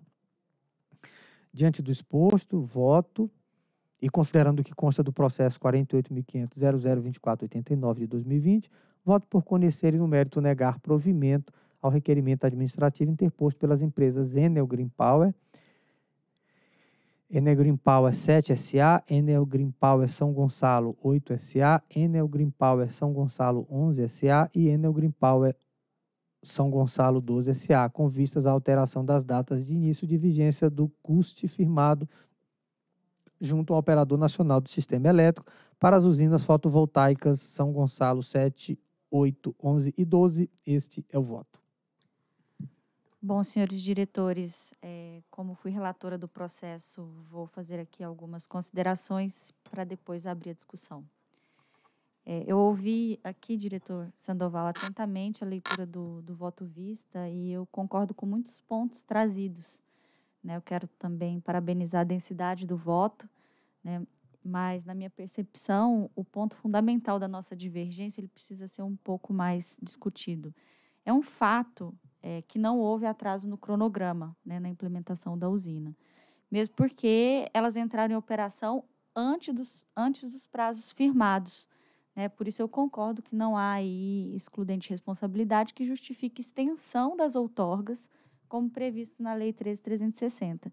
Mas também é certo que a pandemia ela foi uma causa determinante né, no atraso da execução das obras como foi atestado nas análises feitas pela SFG e pela SCG. E aí a questão central aqui é se, os custe, se o custe ele está ou não sujeito a uma análise de excludente de responsabilidade, né, decorrente de um evento de caso fortuito ou de força maior. E aí, nesse, nesse aspecto, eu me alinhei com o posicionamento trazido pela Procuradoria. Né, o Código Civil ele é claro ao prescrever que, que o caso fortuito ou força maior, ela pode afastar responsabilidade do agente no cumprimento de, de obrigações contratuais, claro que desde que avaliado o nexo causal. Né? E nesse caso, em análise, a Procuradoria ela destacou né, apenas duas condicionantes, que a pandemia ela tinha sido a causa determinante pelo atraso na previsão da implementação do empreendimento e que não havia investimentos na rede associado ao acesso. E ambas foram atendidas. Né? Eu concordo com o diretor Sandoval e até com, com, com a própria SRT, no sentido que, em condições ordinárias, o pleito ele não possui amparo é, na regulamentação e nem no despacho é, que prorrogou ali o, o, prazo dos pedidos de, de postergação de custe. Mas aqui eu vejo que a gente está tratando de uma situação extremamente excepcional. Né? Eu entendo que a pandemia ela se caracteriza como um evento de caso fortuito e força maior e que transcendeu ali o controle do agente. Né? E esses efeitos é, não eram possíveis de evitar ou de impedir. Né?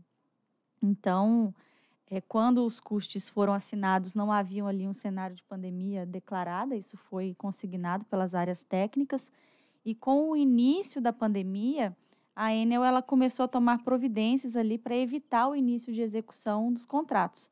Então, quando foi em 27 de março de 2020, ela comunicou às áreas técnicas, a SFG né, e o próprio ONS, sobre os impactos da pandemia de Covid, na implementação desses complexos e defendeu ali a caracterização da ocorrência de eventos de caso fortuito ou força maior. O que ocorreu foi que na execução dos custos já havia, já, já, ela já estava prevista, a execução já estava prevista para o 1 de abril, né? e aí não teve tempo hábil para que a matéria fosse tratada antes disso. É por isso eu acredito na necessidade de análise específica desses casos concretos. Né? É, eu entendo que dar provimento a esses pleitos não significa tutelar as decisões empresariais da Enel, né, mas apenas reconhecer que a pandemia foi de fato um evento extraordinário. A gente não está tratando de frustração do gerador quanto antecipação de geração, e sim da aplicação de custo do que prescreve, no que prescreve ali o Código Civil. Por isso eu vou manter o meu encaminhamento no sentido de dar provimento aos requerimentos da Enel. Bom, então agora abro para discussão. Bom, diretora Elisa, eu tenho uma dificuldade para entender quando a ANEL reconhece excludente de responsabilidade, nós aplicamos para uma responsabilidade, mas não para outra. Tenho muita dificuldade em conseguir aceitar isso. Porque se tem excludente de responsabilidade, tem em todas as responsabilidades, e não apenas em uma ou em outra. Então, eu, eu e além disso, o ato de outorga, quando a gente fala muito na antecipação, né? Mas o ato de outorga, e aí a procuradoria, ela pode até, é, o, procurador Luiz Eduardo pode até se manifestar se eu estou correto, mas a, a própria procuradoria coloca essa, essa condição. O, a, a, o ato de outorga, e está aqui o, o superintendente de concessões e autorizações de geração, ele pode até confirmar se é assim. O ato ele fala até a data tal. Então, nós não podemos falar de antecipação. Ele pode implantar ao longo, desde o ato de outorga emitido até a data que está prevista no cronograma, que, que está posto no ato de outorga, ele pode construir. Então, que, que, antecipação que é essa? Nós já estamos dizendo que é até, e a, a Procuradoria, inclusive, se eu salvo engano, a Procuradoria até se manifesta em relação a isso. Então, eu, e da mesma forma, eu concordo com o que a diretora eles acaba de colocar, é, a data, é, já havia manifestação, antes mesmo da execução, já havia manifestação da empresa de que estava diante de um problema que afetaria a sua implantação. Então, eu, eu, eu, eu tenho, já vou aqui antecipar meu voto, tá, diretora Elisa, me perdoe é, ultrapassar aqui o, o, rito ordinário da ANEL, mas eu, eu, vou, eu já votei, né? nesse caso eu já votei. E eu, em que pese também, e aí é, quero falar de novo aqui da, o diretor Sandoval, ele, no início ele falou sobre isso, a beleza da divergência, é. porque a, a divergência, ela sempre vai levar, desde que estejamos aceitos, obviamente, é, estejamos prontos, né, abertos para mudar de opinião, ela sempre vai construir o melhor resultado. E nesse caso, o diretor Sandoval fez um voto belíssimo, né, e eu, eu, eu, eu, ouvi atentamente o que ele colocou, citando inclusive vários, vários casos anteriores, mas a meu ver, nenhum deles se enquadra nessa excepcionalidade que nós estamos tratando aqui no caso da Enel. Então, eu já vou antecipar que eu, eu, eu votei, eu já tinha votado na sessão anterior antes do pedido de vistas, e eu vou manter o meu voto. Bem, é, é, o meu voto está posto, né? Então, não, não, teremos resultado porque não temos maioria. Na realidade, temos maioria já. Temos, e o diretor André também já deixou seu voto consignado. Bom, é, eu vou aqui ab abrir para votação. Diretor Elvio. Eu mantenho o meu mantém voto anterior. o voto. Diretor Efraim havia votado com o voto condutor. Aí temos o voto vista do diretor Sandoval e o voto que o diretor André deixou consignado, acompanhando o voto vista. Então, temos aqui três votos favoráveis ao voto condutor e dois para o voto vista.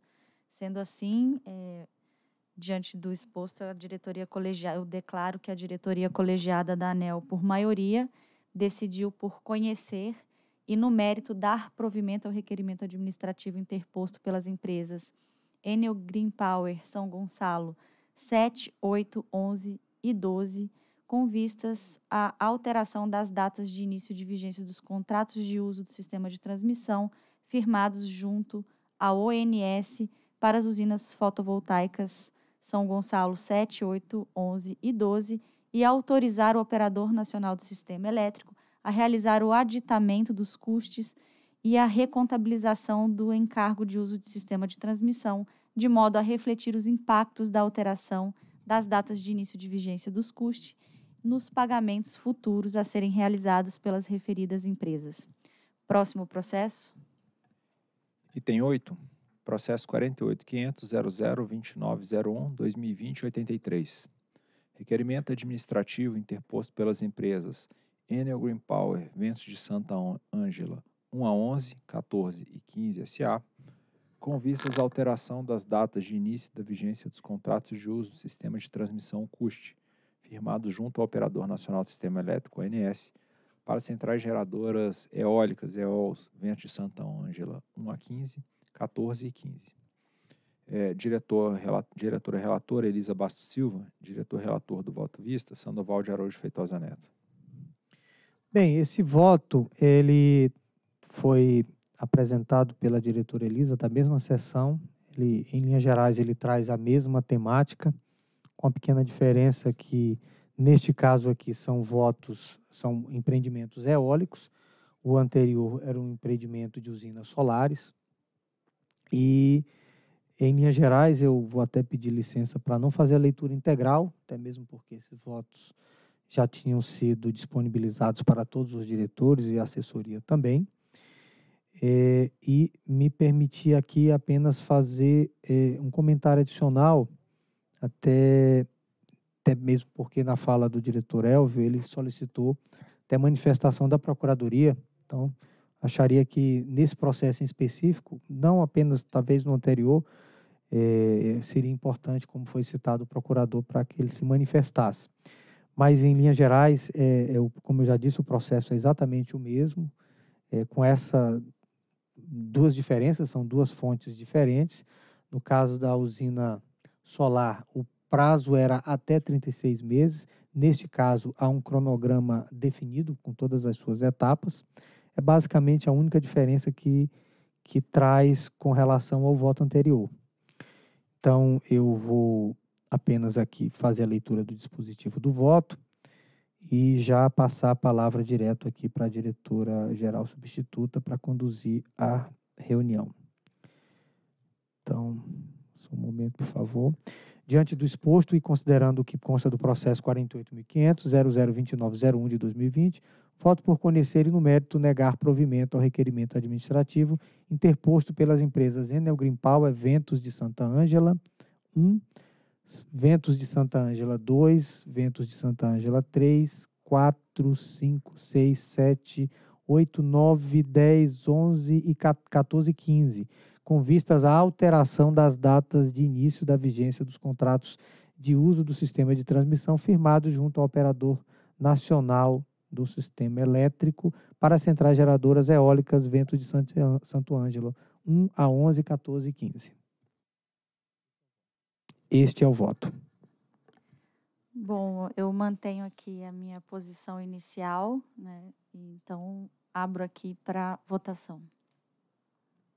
Eu mantenho o meu voto anterior. Eu, eu só, é, eu, antes da gente fazer a votação, me permite, diretor então, Elisa? Eu não abri para é, discussão, me Não, perdoa. é para discussão e, e, também a manifestação do, do douto procurador. Em discussão. Eu, eu queria só, antes do procurador é, fazer... É sempre bom ouvir o procurador, mas a rigor, assim, quero fazer apenas essa, essa referência, né? Porque eu, eu disse que no voto, no parecer, perdão, do, do procurador ou da procuradoria, havia essa referência de que o ato de outorga ele fala em até a data tal. Então, é, eu, o que eu disse, assim, ele poderia confirmar ou não se eu estou correto. E, e, e nesse, não... e nesse específico não há essa particularidade, doutora. Foi exatamente a única coisa, o único aspecto que difere do anterior para esse é que, neste caso, os empreendimentos eles possuem é, é, marcos intermediários para a sua execução. No anterior, sim, não havia um cronograma específico para esse A. É, não, é que eu quero é, dizer aqui, reafirmar aqui, que os atos de outorga, eles não colocam que, a, que, aqui, que o empreendimento que está sendo outorgado, ele tem que ser construído naquela data. Ele pode ser construído até aquela data. A partir do momento que ele recebe a outorga, ele pode começar a obra. Então, ele tem todo o período e tem que entregar aquela data que está prevista no, no cronograma. É, é apenas essa referência, diretor Sandoval.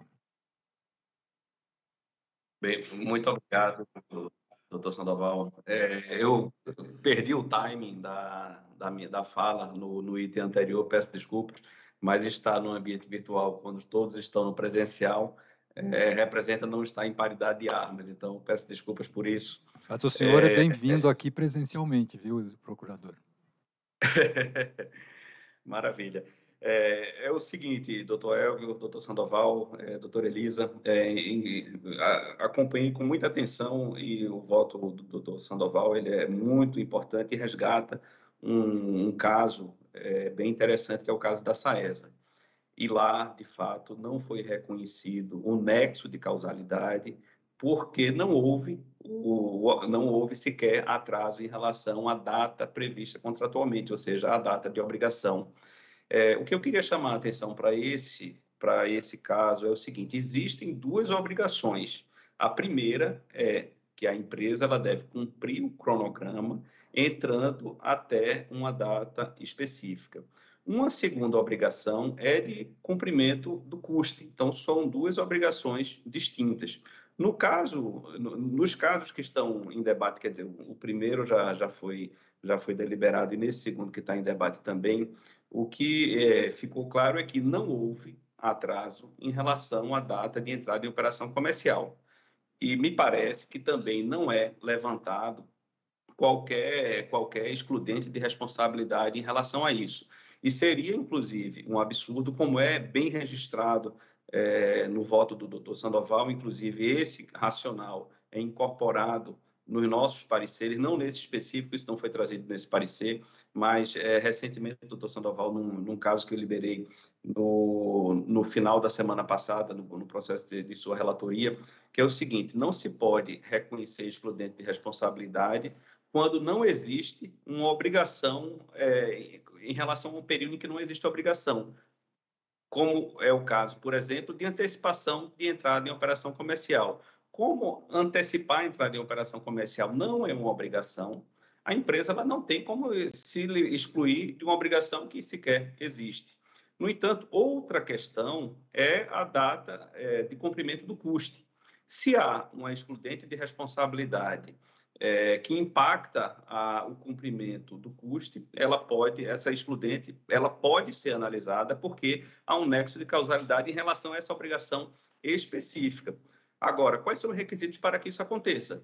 Primeiro, tem que é, não ter havido investimento específico na rede, ou seja, são os requisitos da resolução 666. Então, essas são as considerações da Procuradoria, mas esse caso é realmente bastante rico.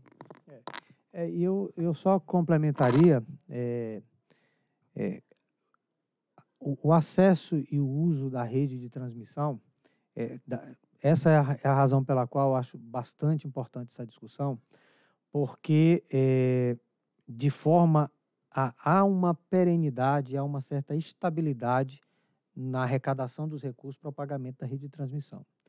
Na medida em que é, deliberações e respeito à decisão que for tomada e pela maioria do colegiado, na medida que abre-se uma frente para análise de excludentes de responsabilidade, vejam o caso em, em discussão para eventos que sequer atrasaram. Então, nós poderíamos ter no futuro, dado o precedente que se abre, de que determinados empreendedores façam as suas projeções empresariais, façam as suas projeções comerciais, por razões, e aqui no caso nós temos a gravidade da pandemia da Covid-19, mas poderemos ter lá na frente greves, como foi o caso de Santo Antônio, poderemos ter um, um decreto estadual ou municipal que frustre, é, que tenha algum impacto na conclusão daquela obra, e que a obra não atrase, mas tenha um impacto na sua execução. E o agente vai pleitear na ANEL, e com, com justa razão, é o reconhecimento daqueles fatos. E nós poderemos ter, a partir desse momento, quando custos já estiverem em execução, poderemos ter transferências de, de, de custos para outros agentes. Então, essa é um primeiro cenário que eu verifico com, com a extensão dessa decisão para outros casos. Um outro ponto que eu coloco é essa antecipação que foi trazida pela, pelo grupo Enel aqui, se eu não me engano, era 30 de junho de 2022. E aí ela está pleiteando a recontabilização de 30 de junho de 22, se eu não me engano, para dezembro, no caso anterior, dezembro de 22, de, de dezembro de 20. É, qual a, a certeza que nós temos?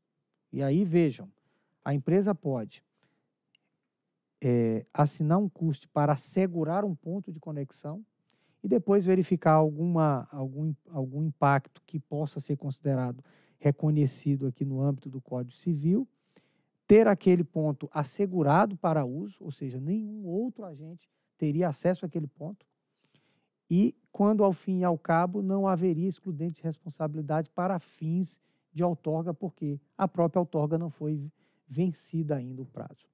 Mas, é, é, feito esses comentários, aí eu já encerro a minha, a minha fala.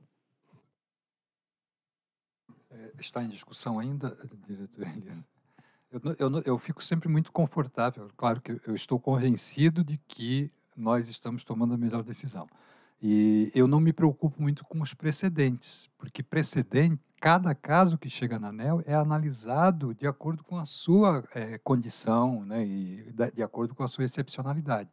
Então, não, não significa que todos os casos que virão pela frente, que eventualmente venham pela frente, que terão a mesma mesma situação desse. Então, eu não me preocupo muito com isso e é, é apenas essa consideração que eu queria fazer. Bom, feitas as considerações, agora sim, em votação. Eu, eu mantenho o voto anterior. Bom, também temos o registro do voto do diretor Efraim e do diretor André acompanhando o voto vista. Bom, sendo assim, a diretoria por maioria, vencidos o diretor Sandoval e o diretor-geral André Peptone, decidiu conhecer e no mérito dar provimento ao requerimento administrativo interposto pelas empresas Enel Green Power Ventos de Santa Ângela, 1, 2, 3, 4, 5, 6, 7, 8, 9, 10, 11, 14 e 15, com vistas à alteração das datas de início de vigência dos contratos de uso de sistema de transmissão firmados juntos, junto ao ONS para centrais geradoras eólicas Ventos de Santa Ângela 1 a 11, 14 e 15 e autorizar o ONS a realizar o aditamento do custe dos custos e a recontabilização do encargo de uso do sistema de transmissão, de modo a refletir os impactos da alteração das datas de início de vigência dos custos no pagamento, nos pagamentos futuros a serem realizados pelas referidas empresas. Próximo processo. Item 10. Processos 48.500.00.1561.2020.73 e outros revitalização de instalações de transmissão sob responsabilidade de Furnas Centrais Elétricas S.A., associadas ao sistema de transmissão em corrente contínua da subestação Foz do Iguaçu e da subestação Ibiúna. Diretor-relator, Sandoval de Araújo Feitosa Neto. Muito obrigado, senhor secretário. A usina hidrelétrica de Itaipu é de propriedade da Itaipu Binacional, entidade que pertence em partes iguais ao Brasil e ao Paraguai. A parcela excedente de energia gerada em 50 Hz por 10 máquinas de 823,6 MVA, que não é consumida pelo Paraguai, utiliza um sistema de transmissão em extra alta tensão em corrente contínua para ser entregue ao Sistema Interligado Nacional Brasileiro. A transmissão de energia elétrica em corrente contínua é realizada por duas linhas bipolares de mais ou menos 600 kV, conectando as subestações de Foz do Iguaçu e Ibiúna em São Paulo, e Foz do Iguaçu no Paraná a Ibiúna em São Paulo, com extensões aproximadas de 792 km para o bipolo 1 e 816 km para o bipolo 2. Cada polo do sistema de escoamento da UHE Itaipu é composto por dois conversores em série, totalizando oito conversores por subestação, cada uma conectando a um banco de transformadores conversores. A quantidade total de transformadores conversores nas duas subestações é de 56 unidades monofásicas, de três enrolamentos, sendo 48 em operação e oito unidades transformadoras reserva as instalações associadas ao sistema da HVDC de Itaipu, cuja entrada em operação comercial decorreu no período compreendido entre os anos de 1984 e 1987, estão classificadas como demais instalações de transmissão, sob responsabilidade de Furnas. Esses ativos estão contemplados no primeiro termo aditivo ao contrato de concessão 62 de 2001, que foi prorrogado por 30 anos a partir de 1 de janeiro de 2013 da revitalização dos transformadores conversores associados ao sistema HVDC de escoamento da OHE Itaipu. Em razão do fim de vida útil dos transformadores conversores das subestações Foz do Iguaçu e Ibiúna, associados ao sistema HVDC de escoamento da OHE Itaipu, o Ministério de Minas e Energia vem inserindo nos planos de outorga emitidos uma série de revitalizações desses equipamentos sob responsabilidade de Furnas Centrais Elétricas, que eu trago aqui na tabela 1 do voto. Em 5 de, 10, de, 10, de setembro de 2019, por meio da carta 42, Furnas encaminhou as informações referentes aos empreendimentos indicados no POT 2017-2016 e apresentadas na tabela 1 em atendimento ao ofício 118 da SCT de 14 de fevereiro de 2018. Em 22 de junho de 20, nos termos da Carta 18, Furnas encaminhou as informações referentes às revitalizações de transformadores conversores constantes do POT 2019, em atendimento ao ofício 209 de 20 de abril de 20. As informações prestadas por Furnas por meio das cartas 42 e 18 estão resumidas na tabela 2 do voto. Em 8 de dezembro de 21, por intermédio do ofício 732, a SCT informou ter observado que as revitalizações realizadas resultaram em movimentação das fases de transformação, transformadores conversores retirados para revitalização com retorno em outra posição operacional, seja na instalação de origem ou em instalação distinta. Assim, a SCT solicitou a Furnas a, identific a identificação do módulo do CIGET de origem e destino, em cada movimentação e revitalização realizada. Por sua vez, Furnas, por meio da carta 7 de 17 de janeiro de 22, encaminhou as informações solicitadas. Quanto à revitalização dos demais componentes que entrega, integram o sistema HVDC de escoamento de Itaipu. Em agosto de 19, Furnas apresentou ao MME a empresa de pesquisa energética e ao Operador Nacional do Sistema Elétrico a nota técnica 1 de 2019, intitulada Revitalização das estações conversoras de corrente contínua de outubro de 17, bem como foi feita a apresentação de Furnas, revitalização do elo HVDC de Itaipu, obsolência GT-MME, informando basicamente a necessidade de revitalização dos dois bipolos.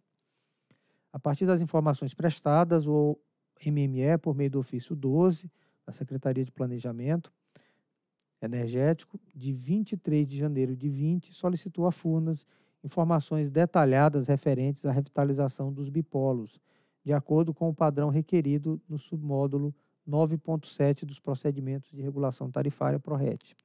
Em 9 de março de 20, na sessão pública de sorteio, o processo referente à outorga de revitalização do sistema de corrente contínua 600 kV Foz do Iguaçu e Biúna foi sorteado de forma antecipada para o então diretor Rodrigo Limpe Nascimento. Em 23 de março de 20, na sessão de sorteio público ordinário, este processo foi a mim redistribuído em razão da exoneração a pedido do então diretor relator. Em 20 de abril de 20, Furnas encaminhou a carta 10 com as informações solicitadas no ofício 12 da Secretaria de Planejamento do Ministério de Minas e Energia. Por sua vez, a nota técnica 99 da EPE, 118 do ANS, ambas de 19 de junho de 20, elaborado em conjunto, avaliaram a necessidade de modernização do sistema HVDC de Itaipu, considerando aspectos eletroenergéticos e técnicos associados. O documento concluiu que a modernização inicial de apenas um dos bipolos é a estratégia adequada, pois minimiza o arrependimento, tendo em vista os cenários que serão estudados no processo de negociação dos termos financeiros do anexo C do Tratado de Itaipu.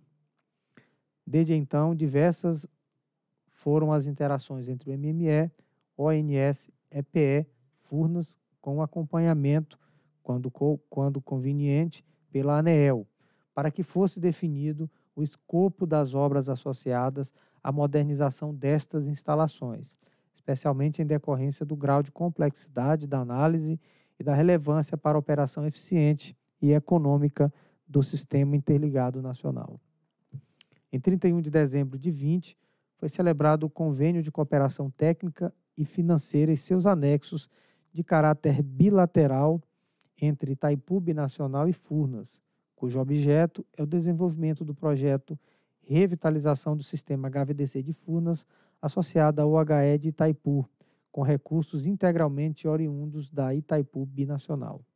Ao final de dezembro de 20, por meio do citado acordo, foi executada a transferência de cerca de 161 milhões de reais de Itaipu binacional para Furnas Centrais Elétricas nos termos do citado convênio. Em 3 de fevereiro de 21, já com um acordo em execução, foi publicado pela Secretaria de Planejamento e Desenvolvimento Energético do MME o despacho decisório 2 de 21, aprovando o POT 2020, Rede Básica e demais instalações de transmissão, primeira versão, no qual constam substituições referentes à revitalização do sistema HVDC de Furnas associada ao UHE Itaipu, cujo escopo foi definido pelos estudos realizados pela EPE, ONS e Furnas. Na mesma data, a SPE encaminhou, por meio do ofício 14, o POT 2020, contendo, entre outros, a nota técnica 99 da EPE e a nota técnica 118 do ONS, como também o convênio firmado entre Furnas Itaipu Binacional e o despacho decisório do MME. No POT 2020 constam as substituições e revitalizações das instalações conversoras HVDC da UHE Itaipu, além das seguintes informações. Primeiro, documentos sobre estudos associados à revitalização das conversoras. Dois, convênio de cooperação técnica financeira entre Itaipu e Furnas, que estabelece a forma e a operacionalização de financiamento dos investimentos a serem realizados. E três, alocação de eventuais custos das revitalizações às distribuidoras cotistas. Quatro, data da necessidade. E cinco, classificação da instalação como demais instalações de transmissão de uso da UHE Itaipu. Em 19 de fevereiro de 21, por meio da carta 7, Furnas solicitou à ANEL que fosse dado prosseguimento ao processo de autorização da revitalização das conversoras do sistema HVDC para que, de forma tempestiva, a transmissora pudesse continuar garantindo a prestação adequada do serviço.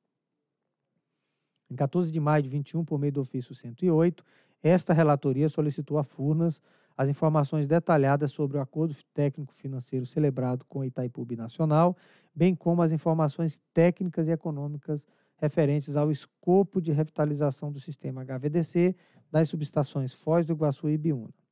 Em 1 de junho de 21, por meio da carta 13, Furnas encaminhou as informações solicitadas, oportunidade em que Furnas afirma, ainda que o convênio firmado com Itaipu Binacional tem como escopo as substituições consolidadas no pote 2020 e que, de acordo com o planejamento preliminar da transmissora, será necessário ainda apresentar ao planejamento setorial uma série de intervenções associadas ao Bipolo 1. A partir das informações prestadas por Furnas e contidas nos planos de outorgas emitidos pelo Ministério de Minas e Energia, verificou-se que o convênio celebrado entre Furnas e Itaipu não contemplava todo o investimento necessário para a solução de planejamento é, adequado, adotada, conforme demonstrado na tabela 3 a seguir. Diante do contexto, por meio do ofício 204 da, é, de minha lavra, é, datado de 9 de agosto de 21, solicitei esclarecimentos ao MME sobre os seguintes aspectos, oriundos das reflexões realizadas pela ANEL sobre a revitalização do bipolo 1. E aqui na tabela 4 eu trago os pontos solicitados ao Ministério de Minas e Energia, na coluna 1, e na coluna 2 as respostas trazidas pela Secretaria de Planejamento e Desenvolvimento Energético do Ministério. Em 6 de dezembro de 21, por meio do Memorando 53, e considerando a decisão do MME de outorgar a Furnas a revitalização do bipolo 1 do sistema de transmissão de Itaipu, sendo parte do escopo contemplado no convênio com Itaipu Binacional e o restante a ser custeado pelo usuário via autorizações de reforços e melhorias, solicitei a emissão de parecer jurídico técnico da junto à Procuradoria Federal da ANEL acerca da regularidade jurídica do encaminhamento descrito na presente instrução processual. Procuradoria Federal, nos termos do parecer 21, datado de 10 de fevereiro de 22, manifestou-se em resposta ao memorando 53 desta relatoria.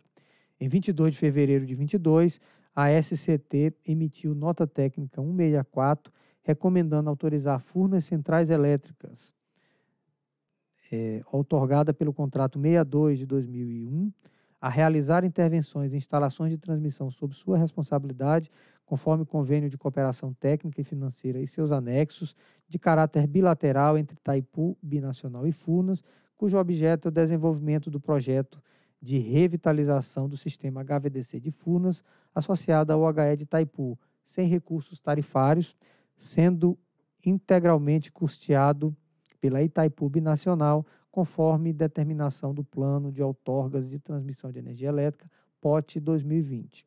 E dois, implantar melhorias em instalações de transmissão de energia elétrica sob sua responsabilidade, esses sim com recursos tarifários, conforme determinação do POT 2017-16, POT 2019 e POT 2020. Esse é o relatório. Procuradoria. Senhores diretores, a Procuradoria analisou o caso e emitiu o parecer, e a conclusão do parecer é pela possibilidade do arranjo jurídico que está sendo proposto pelo Ministério de Minas e Energia, que é no sentido de autorização para ser feita a obra, não licitação. E por que, que esse arranjo ele, ele atende do ponto de vista jurídico? Porque não vai haver é, remuneração do investimento via tarifa o investimento ele vai ser feito pela é, usina, de, pela empresa Itaipu, e é, a, vai ser apenas remunerado a operação e manutenção. E os investimentos serão considerados como obrigações especiais. Então, do ponto de vista da ANEL, não há qualquer necessidade de submeter o nível de investimento a uma pressão competitiva, já que não vai haver remuneração pelo consumidor. Muito obrigado, doutor Luiz Eduardo. É, antes de solicitar a apresentação técnica a ser realizada pela SCT, eu já gostaria aqui de antecipar a minha, a minha decisão, que é no sentido de autorizar Furnas Centrais Elétricas a realizar intervenções em instalações de transmissão sob sua responsabilidade, conforme convênio de cooperação técnica e financeira e seus anexos, de caráter bilateral entre Itaipu Binacional e Furnas, cujo objeto é o desenvolvimento do projeto Revitalização do Sistema HVDC de Furnas, associado ao UHE Itaipu, sem recursos tarifários, sendo recurso, sendo custeio integralmente oriundo de Itaipu Binacional, conforme determinação do Plano de Outorgas de Transmissão de Energia Elétrica 2020. Implantar também melhorias em instalações de transmissão de energia elétrica sob sua responsabilidade, com recursos tarifários conforme determinação do POT 2017 e 2016, do POT 2019 e do POT 2020. Queria destacar que a decisão é, a ser tomada trata da revitalização, da viabilização do empreendimento, da viabilização da revitalização de empreendimento de grande relevância ao sistema interligado nacional cujo, cujo escopo, conforme solução adotada pelo planejamento setorial, é a revitalização das instalações de transmissão associadas ao bipolo 1 do sistema HVDC, da UHE Itaipu, que pretende aumentar a vida útil deste bipolo por cerca de 30 anos. Queria aqui também destacar que, juntamente com a, com a usina de Itaipu, que foi considerado um grande marco da engenharia não nacional, mas engenharia mundial, a usina de Itaipu, o sistema de transmissão em corrente contínua desse porte foi um dos primeiros a serem construídos no mundo. E depois os ensinamentos, as diversas oportunidades de aprendizado, tanto da usina de Itaipu, como também da, do seu sistema de transmissão em corrente contínua associado, serviram de referência para dezenas de projetos em corrente contínua, não mais em 600 kV, mas inclusive em níveis de transmissão maiores. Então, queria aqui destacar todos os homens e mulheres que trabalharam neste enorme projeto, que é um grande motivo de orgulho para a engenharia nacional. Eu diria até engenharia mundial. É, eu, agora, na sequência, gostaria de pedir que a Thais faça a apresentação do, do projeto, destacar que ao longo da condução técnica, instrução técnica desse processo, a doutora Thais atuou de forma brilhante no presente projeto, processo, como não poderia deixar de ser diferente. Também destacar aqui a presença do doutor Ivo, superintendente da, da SCT, e também já, doutor Ivo, agradecer a toda a equipe que trabalhou nesse projeto, que foi um grande desafio, do ponto de vista regulatório, e também a todas as entidades envolvidas. E aqui destacar que esse convênio que foi firmado entre Itaipu e Furnas, ele foi citado, inclusive, pelo ministro Bento Albuquerque, quando da posse do presidente Almirante Risden, presidente da Itaipu Binacional, é, há duas semanas atrás. Então, doutora Thais, a senhora tem a palavra. Bom dia a todos. É, eu sou a Thais da SCT é, e vou apresentar aqui informações é, relacionadas à autorização do empreendimento de revitalização do Bipolo 1 no sistema HVDC de escoamento da usina de Itaipu.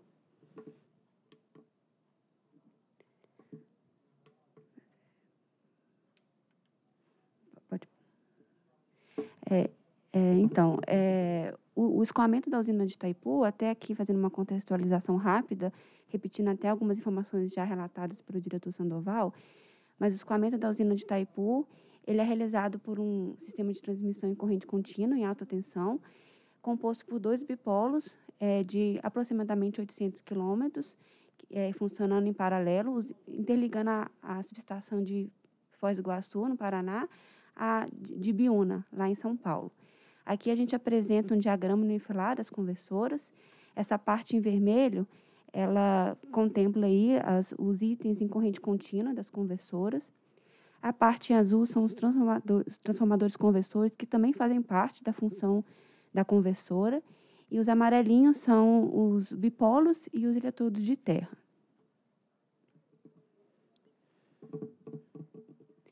É, sobre a outorga dessas instalações, elas entraram em operação comercial entre 84 e 87, integram o contrato de concessão 62 de 2001, sob responsabilidade de Furnas, que foi prorrogado por 30 anos a partir de janeiro de 2013. Essas instalações estão classificadas como demais instalações de transmissão, DITs, de uso exclusivo da usina de Itaipu no contrato de Furnas. Bom, então, em razão é, do fim do vida, de vida útil dessas instalações, é, houve várias interações entre EPE, ONS, Ministério de Minas e Energia, Furnas e Itaipu, com a participação da ANEL, em que foi adotada, por fim dessas discussões, foi adotado como solução de planejamento a revitalização escalonada das instalações do Bipolo 1, com extensão de sua vida útil em cerca de 30 anos, e a utilização dos equipamentos substituídos do Bipolo 1 como sobressalentes no Bipolo 2, postergando aí a decisão sobre a revitalização ou descomissionamento deste bipolo, do Bipolo 2, para além dos, da, da negociação dos termos financeiros do anexo C do Tratado de Itaipu. É, na sequência dessa decisão de planejamento, houve um, a celebração de um convênio de cooperação técnica e financeira entre Funas e Itaipu, que foi celebrado em janeiro, em dezembro de 2020, cujo objeto é a revitalização do sistema HVDC de Funas associado à usina de Itaipu. Neste convênio, coube a cabe a Funas, né, que ele está vigente, operacionalizar a implantação do escopo e a Itaipu arcar integralmente com os custos de implantação. O prazo de vigência desse convênio é de 60 meses. E no anexo 1 do convênio tem um plano de trabalho em que está bem definido o escopo do convênio, bem como o cronograma de execução física, de execução financeira e de desembolso. Algumas considerações que, que a gente faz sobre esse convênio é que ele aloca, de fato, adequadamente ao agente de geração os gastos com o sistema de transmissão de uso exclusivo, aí até alinhado com a regulamentação vigente do setor, e também busca atender ao interesse comum das partes e prestigiar o interesse público em duas dimensões. Uma que é a confiabilidade do prestador, aí reconhecendo aí o serviço adequado prestado por Funas aí nesses 30, 40 anos, é, e também a modicidade das tarifas, já que no, o usuário de, de transmissão não vai ser chamado a pagar, a custear esses investimentos, né? É, na sequência da, da celebração do convênio, constou no plano de outorgas de 2020, é, emitido pelo Ministério de Minas e Energia, é, exatamente o escopo, a indicação do escopo é, do convênio celebrado entre Fundos e Itaipu para execução, para implantação. A data de necessidade desse escopo é imediata.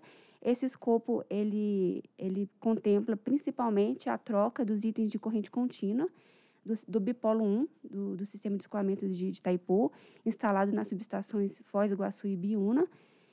E ele já indica Furnas como uma transmissora responsável e ele veio sem uma classificação, como ampliação ou como reforço e melhoria.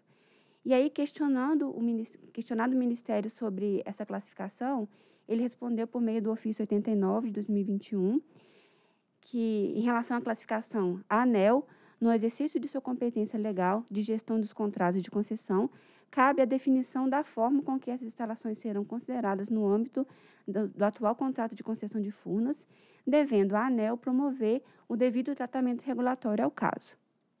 Ficando claro aí que esse serviço deve ser estabelecido para, para Furnas.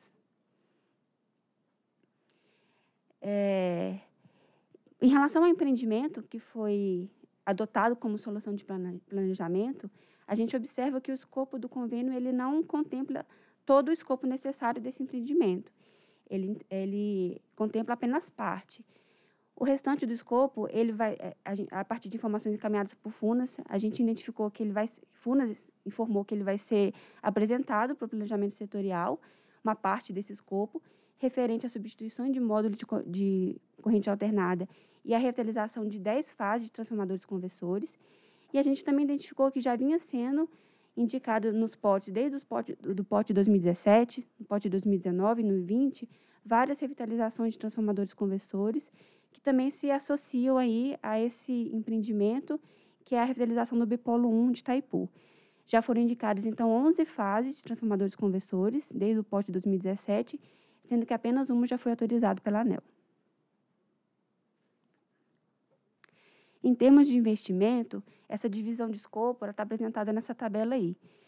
É, o convênio celebrado entre Funes e Itaipu contempla um, cerca de 1 bilhão e 100 reais de investimento aí a preços de maio de, de 21. É, as intervenções que Funas alega que ainda que, que vão ser apresentadas para o planejamento representam 465 milhões. Aquelas que já estão inseridas nos planos de outorga representam 212 milhões. E aí, totalizando um, um, total, um valor de 1 bilhão e 800 para o empreendimento como um todo. Desse 1 bilhão e 800, é, um pouco mais de 60% aí já está tá contemplado no convênio e um pouco menos de 40% fica é, indicado nos planos de outorga, de investimento, né? E aí a gente apresenta aqui também o, o valor total em dólar, né, dessa revitalização, 350 milhões, e como comparativo o valor total de um bipolo novo, que fica em cerca aí de fica do dobro, né, do, do, do empreendimento adotado para revitalização do bipolo 1. Bom, diante desse contexto, a nossa análise foi é, dividida em duas, né? Uma é, de proposição do tratamento regulatório para autorização da revitalização, que faz parte do convênio, e a outra parte é, em relação é, se refere à autorização e estabelecimento de RAP pelas revitalizações que foram indicadas nos POS de 2017, 2019 e 2020, que são 10 revitalizações de transformadores conversores. Em relação ao, tra ao tratamento regulatório do escopo do convênio, inicialmente a gente destaca que é, a, a, presente autorização ela não pode impedir eventual processo licitatório da modernização do Bpolo 2, caso seja definido dessa forma pelo, pelo poder concedente. A gente conclui também que não é uma ampliação a ser licitada, já que a licitação ela é objetiva, selecionar um prestador de serviço, nesse caso aqui o prestador já está selecionado, que é Furnas, também não é reforço e melhoria a ser autorizado, porque a autorização de reforço e melhoria visa restabelecer o equilíbrio econômico da concessão frente a um novo investimento que está sendo realizado. E, nesse caso, o investimento será custeado por Itaipu, não por Furnas. É, portanto, a gente é, recomenda autorizar a intervenção utilizando as normas vigentes no que for cabível. E aí, com a adoção das normas vigentes, é, a gente recomenda a manutenção das receitas de OIM associadas à portaria 579 que estão vigentes nos módulos que serão revitalizados. Recomenda que os investimentos e as desativações ocorram sem repercussão tarifária e, para isso, eles devem ser registrados como obrigações especiais.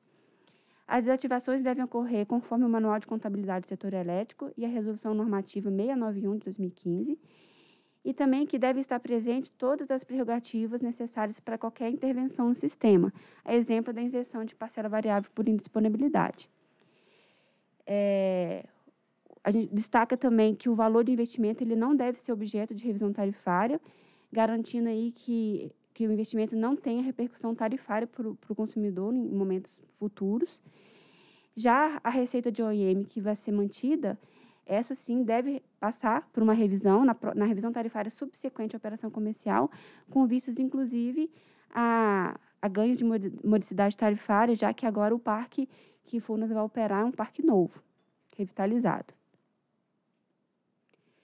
Em relação às obras é, que foram indicadas nos potes de 2017, 2019 e 2020, a recomendação é de que se siga o rito normal de autorização de reforço e melhoria, de acordo aí com o módulo 3 da regra de transmissão, o enquadramento dessas obras é, foi feito como melhorias foi utilizado um prazo de um mês para a regularização da receita daquelas revitalizações que Funas já identificou que já tinham sido realizadas, e um prazo informado por Funas para aquelas demais que ainda serão realizadas, né?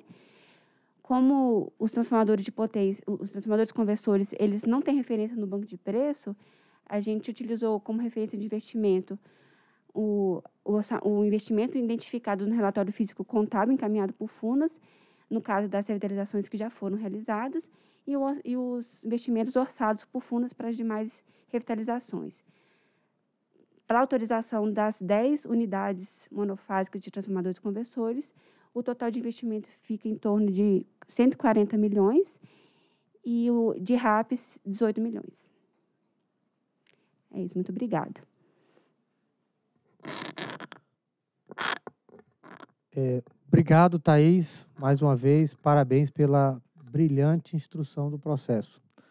É, como eu tinha dito no início da, da fala desse processo, esse processo ele, ele saiu do rito ordinário, uma vez que nós tivemos aí uma, um investimento a fundo perdido trazido por Itaipu, binacional, como também uma parte de sendo uma parte da retribuição dos ganhos daquela usina, da eficiência daquela usina para o consumidor de energia elétrica brasileiro que durante toda a sua fase de construção, que deve encerrar a sua, a sua amortização final no ano de 2023, e o consumidor passa a receber, a, oferir resultados desse investimento que, além de todas as suas vantagens eletroenergéticas, situa-se também como uma, um grande exemplo de cooperação internacional do Brasil com o Estado, do, com, com o país Paraguai, o nosso país irmão. Então, eh, também gostaria aqui, em nome, na pessoa da Thais, cumprimentar todas as especialistas, analistas e técnicas administrativas que compõem a Agência Nacional de Energia Elétrica. Permita aqui, senhores diretores, doutora Elisa, fazer aqui apenas alguns comentários eh, adicionais, complementares à apresentação já brilhante feita pela doutora Thais. É, assim, o presente convênio, ele assegura a garantia da modicidade tarifária ao consumidor de energia elétrica, uma vez que o projeto de revitalização, uma vez que se o projeto de revitalização fosse licitado ou autorizado, contando com recurso de Furnas, a tarifa de transporte sofreria, sofreria um aumento proporcional para os seus usuários cotistas, impactando diretamente a tarifa do consumidor final. Ademais, o presente convênio também se justifica porque se conforma mais adequadamente ao modelo setorial brasileiro, que aloca ao agente de geração os gastos com o sistema de transmissão exclusivo, que é o caso em, em discussão. A intenção é de que o sistema de HVDC tenha capacidade para seguir atendendo a sua demanda por meio de um bipolo revitalizado que deve ter uma vida útil de cerca de 30 anos e de um bipolo ainda não revitalizado, porém contando com sobressalentes do bipolo 1, que irão prolongar, portanto, a sua vida útil, ao final da qual a demanda que será observada ajudará a decidir pela revitalização do bipolo 2 ou seu descomissionamento em definitivo. Então, uma grande vantagem de revitalizarmos apenas o bipolo 1 nesse momento, além dos, da questão financeira que se apresenta, é o fato de o bipolo 2 utilizar peças de reposição do bipolo 1, que será revitalizado. O arranjo decidido por meio deste convênio não se enquadra como licitação, porque tal procedimento é uma forma de escolha de, prestador de determinado serviço. E, no caso, o prestador já foi escolhido pelo poder concedente, pelo Ministério de Minas e Energia. O arranjo alcançado também não se enquadra como autorização de melhoria ou de reforço, nos termos das regras de transmissão aprovadas pela Resolução Normativa 905 e o módulo 9 do PRORET. Isto porque os objetivos das autorizações de reforços ou de melhorias, conforme regulamentos vigentes, são justamente de reequilibrar os contratos de concessão em razão da necessidade de aumentar ou manter os escopos dos serviços de transmissão de energia elétrica existentes e inicialmente pactuados nas avanças originais. Portanto, entende-se que o melhor enquadramento regulatório consiste em estabelecer, por meio de ato administrativo da ANEL, a forma como o acordo de Itaipu Nacional e Furnas será tratado frente ao contrato de concessão de transmissão, que receberá tais recursos e os utilizará para a implantação do retrofit do bipolo 1. É, esses são os comentários que eu tenho a fazer. E se me permita, é, doutora Elisa, doutor Elvio, já farei a leitura do dispositivo do voto.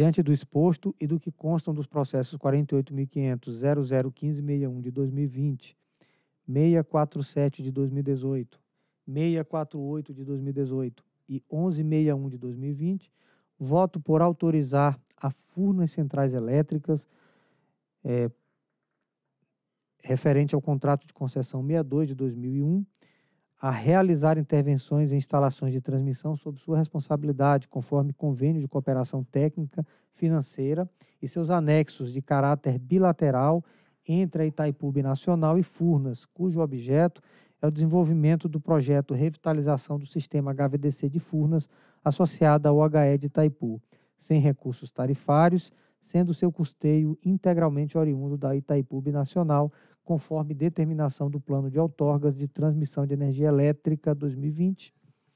E dois, implantar melhorias em instalações de transmissão de energia elétrica sob responsabilidade com recursos tarifários, conforme determinação do POT 2017, 16, 19 e 20. Este é o voto. Antes de abrir para discussão, quero parabenizar aqui a apresentação feita pela Thais com muita clareza e didática. Feito esse, esse registro, abro aqui para discussão. Bom, diretora Elisa, diretor Sandoval, primeiro é, parabenizar aí pela, pela densidade do voto, é, e eu quero fazer uma referência aqui que eu considero importante. Esse assunto, a revitalização do HVDC de Itaipu, ele foi iniciado pelo, pelo ex-diretor da ANEL, Reive Barros, e quando ele era o secretário de Planejamento e Desenvolvimento Energético do Ministério de Minas e Energia e que me deu a honra de ser o adjunto dele naquela ocasião.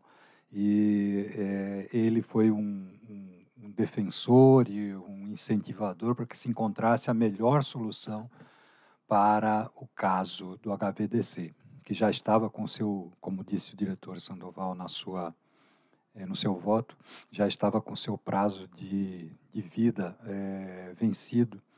E ele trabalhou muito, fizemos várias reuniões, fizemos reuniões com todos os, os, os, os maiores é, fornecedores de equipamentos, com quatro dos maiores fornecedores de equipamentos, em que esteve presente Itaipu, esteve presente Furnas, esteve presente o Ministério de Minas e Energia, esteve presente a própria ANEL, em inúmeras reuniões para entender efetivamente qual seria a melhor solução e a, eu fico satisfeito. Eu, eu, eu, nos últimos dois meses, antes de vir para a ANEL, ainda no Ministério, eh, eu estive substituindo o, diretor, o, o secretário Reive, na época, e, infelizmente, não estava no Ministério quando o, o assunto avançou e veio para a ANEL, mas tenho a satisfação de estar aqui nesta sessão em que é, está sendo deliberado esse caso, porque é realmente uma solução importante, inclusive para a segurança energética do país.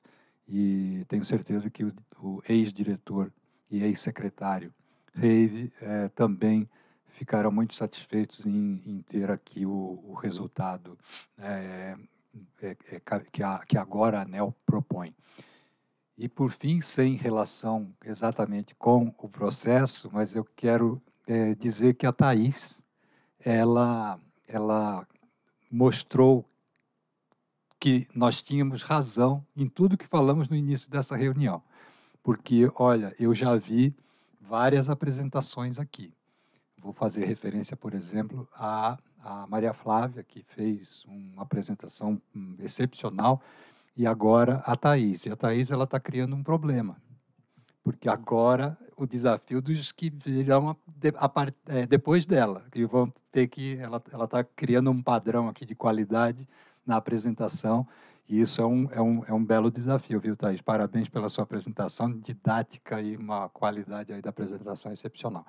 Então, eu quero é, só fazer essa referência, porque achei importante fazer referência aqui ao, ao secretário Reive, porque ele realmente foi um, um dos uma das peças importantes para que a gente chegasse nessa solução. É, só também, é, de fato, pontuar, muito bem lembrado, doutor Elvo, também é que rendo minhas homenagens e agradecimentos ao, ao então secretário que liderou essa discussão aqui, junto com as demais instituições à época e no momento oportuno trouxe o assunto para ser, ser discutido com a, com a agência. Eu queria fazer referência também à presença aqui no plenário do ex-procurador-geral da ANEL, o advogado é, é, Márcio Pina. Bom, em votação. Eu acompanho o voto do relator.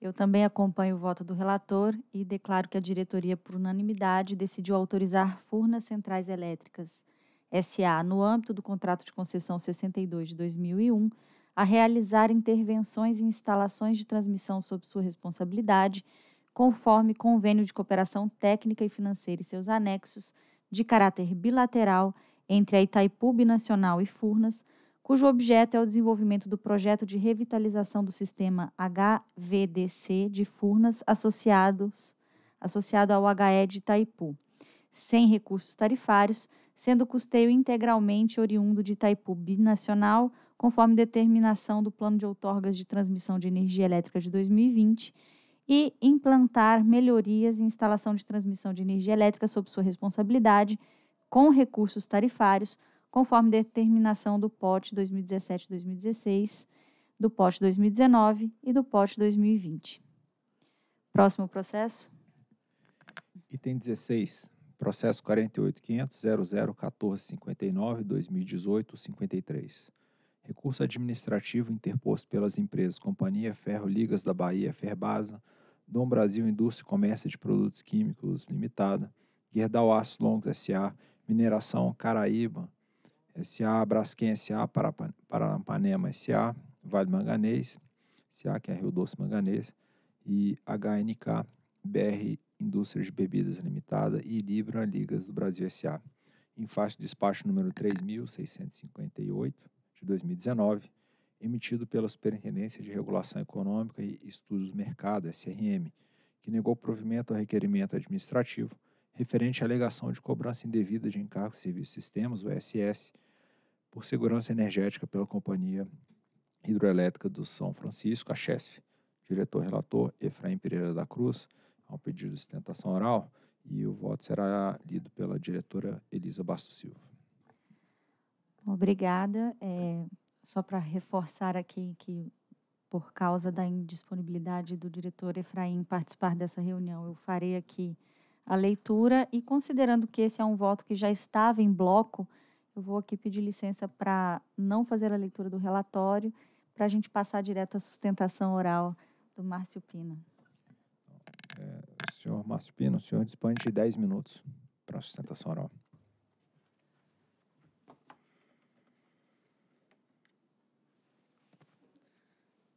Doutora Elisa, que, que alegria, doutor Elvio, voltar a essa tribuna presencialmente num dia tão especial. E corroborando aqui as falas que até nos emocionaram no início, queria parabenizar a diretora Elisa e agradecer a diretora Elisa e tantas outras lideranças femininas no Brasil que inspiram a minha Alice também, viu, doutor Elvio? E tantas jovens talentosas na construção de uma sociedade mais justa e igualitária. Parabéns, diretora. Bom, senhores diretores, é, venho aqui em nome da Ferbasa, da Vale Manganês, da Braskem, da Down, da Mineração Caraíba, da Gerdau, da Paranapanema, da Brasil Quirim, hoje Heineken do Brasil, e da Libra, trazer a consideração de Vossas Senhorias um requerimento administrativo que discute se a conduta de um concessionário que descumpre uma autorização da ANEL, arrecada valores por fora da fatura de energia, indevidamente e a maior confessa que arrecadou e se nega a devolver se amolda ou não algum tipo infracional previsto nos atos normativos dessa agência e se também a ANEL pode renunciar da sua prerrogativa de exercer o poder-dever de fiscalizar a relação existente entre Furnas e as indústrias consumidores cativos do gerador e, e, em especial à luz do inciso 5 do artigo 3 da Lei 9427, que estabelece especificamente a competência da ANEL para dirimir as divergências entre os concessionários autorizados, produtores independentes de energia e os seus consumidores. Está lá estabelecida uma competência específica da ANEL que as indústrias eletrointensivas do Nordeste brasileiro gostariam de ver apreciado por este colegiado. O ato da superintendência que define tão somente os valores dos encargos, ao nosso ver, não atende a este pressuposto. E a ANEL não poderia deixar de analisar se a conduta do concessionário se amolda ou não a algum tipo infracional. Não podemos deixar de perceber, senhores diretores, o histórico desse contrato. Nós estamos falando de contratos firmados na década de 70, quando as distribuidoras locais não tinham a capacidade de atender a indústria eletrointensiva e como uma medida de estímulo ao desenvolvimento regional. Esses contratos, eles foram previstos, são contratos atípicos, não se amoldam às nossas figuras típicas do ACR, nem tampouco às do ACL. São contratos que foram renovados por previsão legal específica. Originalmente, a ANEL fixava tarifa regulada e a Chesf é uma concessionária de serviço público de geração de energia elétrica. Os regimes jurídicos que sobrevieram não alteraram a natureza sui generis desse contrato.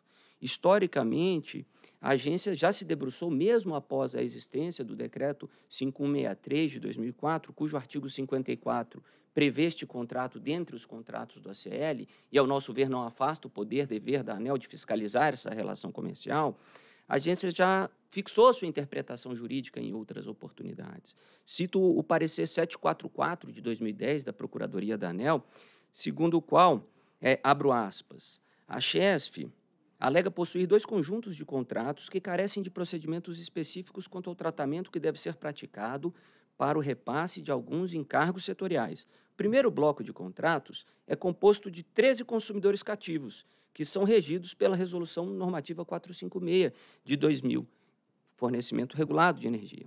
O Acórdão 676 de 2008 do Tribunal de Contas da União também expressamente reconhece, abro aspas, uma particularidade da Chesf é que, mesmo sendo uma geradora que fornece energia atualmente a 13 grandes consumidores industriais localizados no Nordeste, na condição de cativos, cujas tarifas de venda são fixadas pela ANEL e os respectivos contratos seguem o disposto nas condições gerais de fornecimento que se encontram regulamentadas através da Resolução 456 de 2000, assim também reconhecia o Tribunal de Contas da União. E aqui não estamos a discutir, senhores diretores, uma relação comercial livremente negociada no preço da energia que foi pactuado na renovação desses aditivos contratuais. Não se trata disso.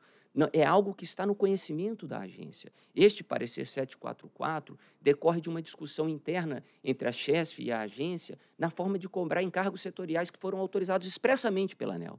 A ANEL autorizou a CHESF cobrar por fora do preço da energia os encargos setoriais para manutenção das questões relativas ao setor elétrico. No caso, estamos falando do, do encargo setorial de serviço sistema para segurança energética.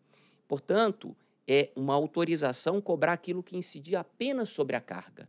Aquilo que extrapola a incidência do encargo sobre a geração da CHESF, ela não tem autorização da ANEL para repassar para a conta dos consumidores. E é importante destacar que a nossa divergência aqui ela está restrita ao período de vigência da resolução do CNPE 3 de 2013, ou seja, entre março de 2013 a dezembro de 2017. A partir do momento que a cobrança do SS passou a ser feita pela Câmara Comercializadora de Energia, diretamente às indústrias eletrointensivas, não há discussão, os encargos são recolhidos normalmente. Mas a CHESF, durante este período, atuava como uma arrecadadora destes encargos autorizada pela ANEL e extrapolou o comando regulatório da ANEL. Há fatos incontroversos neste processo, e muitos deles consignados num processo de fiscalização de número 48500-005325-2000, no qual a Chesf confessa, confessa que arrecadou valores e se nega a devolver. Quais são os fatos incontroversos destacados também no relatório técnico GSTIL-GCOM da, da CCE, número 1 de 2017, e na própria deliberação do CAD 1252, na, na, sua, eh, na sua reunião de número 904, consignada também na carta que a CCE encaminhou ANEL 0964 de 2020. A CCE nunca cobrou da Chesf durante esse período o encargo incidente sobre a carga das indústrias. Este é um fato incontroverso. O que a CCE cobrou naquela época foi o encargo incidente sobre a carga, a carga líquida, a geração líquida da Chesf. Ao invés de cobrar o encargo que à época incidia sobre a geração e sobre a carga, sobre a geração total da Chesf e o encargo sobre a carga das indústrias, a CCE, porque tratava esses consumidores de forma análoga a consumidores de uma distribuidora, cobrou apenas sobre a, a geração líquida, abatida a carga das indústrias, ou seja, a Chesf pagou menos do que ela mesma deveria e nada foi cobrado dela a título de carga. E mais, Quando a Chess obteve em juízo uma decisão judicial para desonerá-la do pagamento do ISS 2013, a CCE devolveu 60 milhões de reais à vista para a Chesf. Portanto, é um fato incontroverso que a Chesf não foi onerada em nada, em nada, e aquilo que foi onerada foi devolvido por força de comandos judiciais específicos e nada foi cobrado dela a título de ISS, seja incidentes pela geração, seja incidentes sobre a carga da, das indústrias aqui eletrointensivas mencionadas. Portanto, senhores diretores, ao nosso ver, a conduta da CHESF, ela se amolda ao que está no artigo 11, inciso 2 da Resolução 846 de 2019, que diz deixar de restituir ou restituir incorretamente aos consumidores e usuários os valores recebidos indevidamente, aportes realizados a título de antecipação, e ele elenca algum, alguns tipos, é uma conduta prevista como infracional. E a ANEL não pode deixar e fechar os seus olhos a isso, sob pena de privilegiar o enriquecimento sem causa da concessionária pública estatal federal. As ações judiciais não se sobrepõem. O que há é um conjunto de duas ações em que as indústrias brasileiras aqui mencionadas discutem a impossibilidade de cobrança do ESS com base na resolução CNPE 3. E as liminares foram deferidas e delas nunca foi cobrado um centavo. Todas as liminares foram cobradas, foram cumpridas. Há uma outra ação da CHESF, quando a CCE tenta restabelecer a cobrança na da forma adequada e faz uma cobrança retroativa, a diferença da cobrança sobre a, a geração líquida e a geração total, a Chesf obtém uma liminar para desonerá-la dos pagamentos da SS incidente sobre a geração. E a CCE devolve integralmente esses valores. Há uma terceira ação.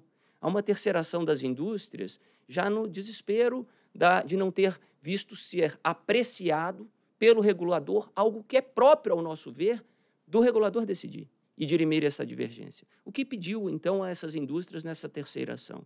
Que a ANEL fiscalize esse contrato, a previsão deste contrato está no rol do ACL, não afasta o poder-dever da ANEL fiscalizar.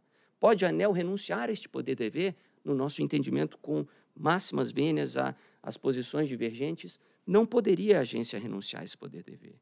É, é, bem verdade, senhores diretores, que foi proferida uma liminar nos autos desta terceira ação judicial que cito, é, por meio da qual a ANEL foi instada a abrir um processo de fiscalização, este cujo número citei há pouco. Este processo está em trâmite na SFF, mas não avançou, dadas as atribuições de relevo que aquela superintendência tem. O processo segue um rito sem nenhuma conclusão até este momento. E também a liminar judicial determina que a Câmara compense os valores vincendos, que são cobrados hoje diretamente das indústrias, com aqueles que equivocadamente foram cobrados pela CHESF das indústrias reguladas. Nós não estamos discutindo valor do preço da energia, nem condições comerciais pactuadas no contrato e no seu aditamento entre as indústrias e a CHESF. O único ponto de divergência aqui é: pode a CHESF arrecadar a maior, confessar que arrecadou e negar-se a devolver? A ANEL deve ou não fiscalizar essa conduta?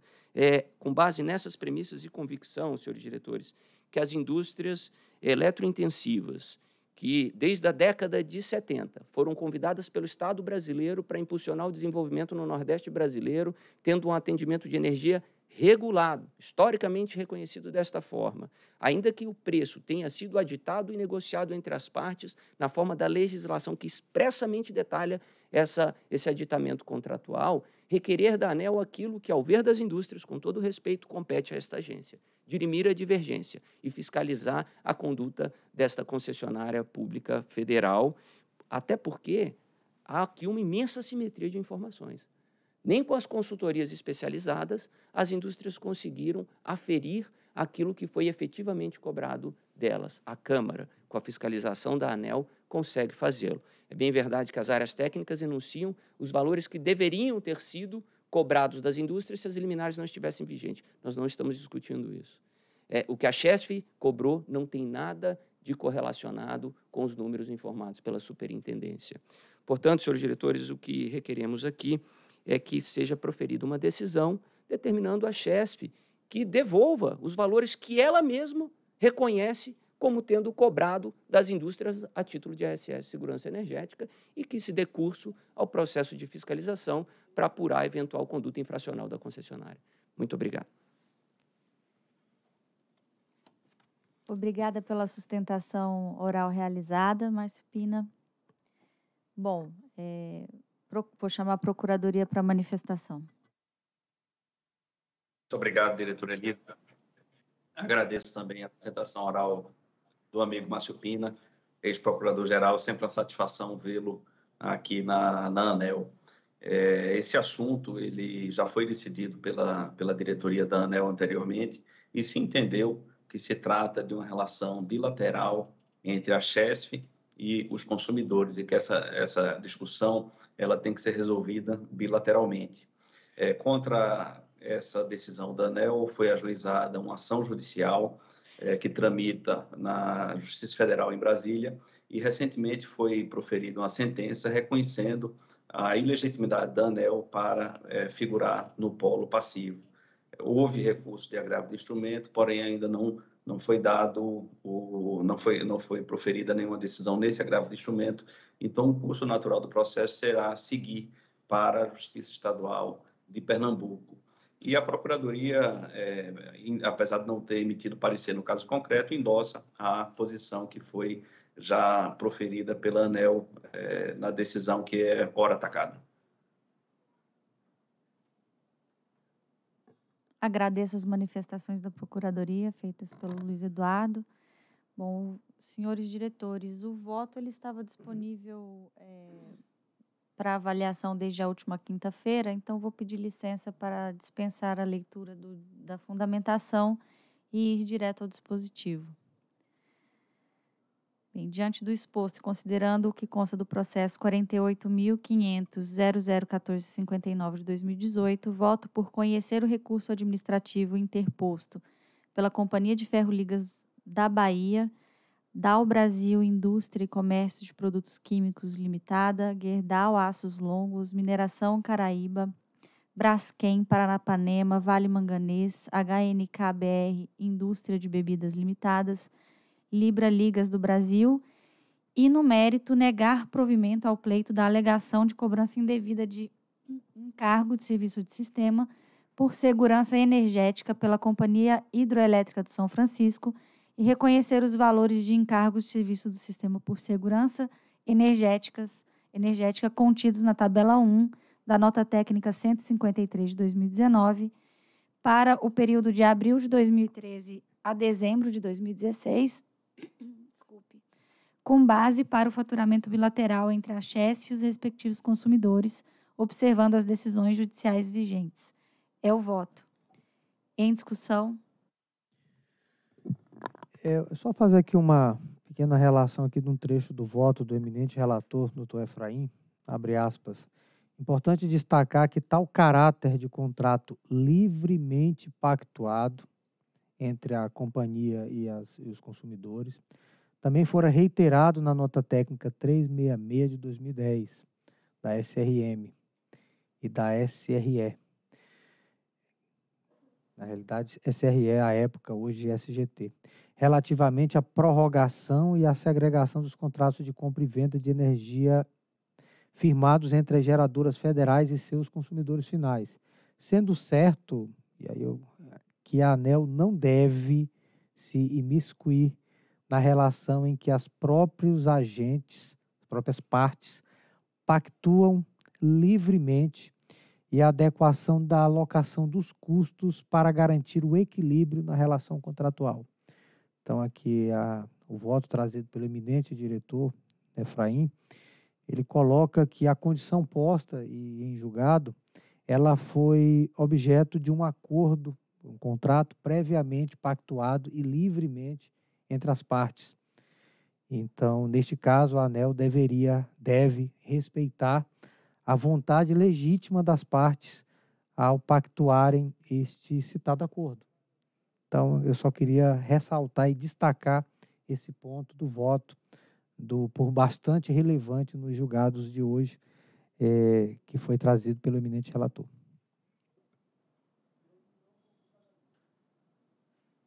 Bom, eu queria fazer apenas um, um, um comentário. Primeiro, é, cumprimentar aqui o, o Márcio Pina, ex-procurador-geral da ANEL, e numa das deliberações que nós tivemos hoje, eu cheguei a mencionar que um dos desafios do regulador é o equilíbrio e, né, e, a alocação equilibrada, melhor dizendo, de custos e riscos. Esse é o, esse é o grande desafio que nós temos. Né? É, mas na, aqui nesse caso, é, nós estamos diante, como bem ressaltou o diretor Sandoval, nós estamos diante de um pacto que é entre partes e que a ANEL não deveria ou deveria respeitar aquilo que foi pactuado. Então, esse é, o, é, um, é um entendimento que está trazido no voto do diretor Efraim e muito bem salientado aqui pela, pelo diretor Sandoval e que foi objeto de várias discussões, inclusive com, envolvendo as áreas técnicas da agência e a, a própria CCE. Então, eu, em, respeitando aqui a posição defendida pelo Márcio Pina, sempre de forma muito ponderada né, e, e, e elegante como de costume, mas eu tenho aqui a, a, a, convicção de que nós estamos diante de algo diferente, que é o equilíbrio, é, a, a, a, alocação equilibrada entre custos e riscos, ela não, não cabe aqui para uma deliberação ou para o envolvimento da agência. Essa é a minha percepção. É, só eu também não poderia deixar de registrar que de, de tanto ter convivido com o doutor Márcio Pina quando ele era procurador-geral, acabei é, não, não citando e destacando, acho que é tão presente, a, ainda está tão presente aqui na nossa memória a presença do doutor Márcio Pina aqui como procurador-geral, eu acabei não citando e fazendo a devida referência e reverência. É um prazer recebê-lo aqui na nossa, na nossa agência. Bom, feito esses, essas observações, passo à votação. Eu acompanho o voto do relator.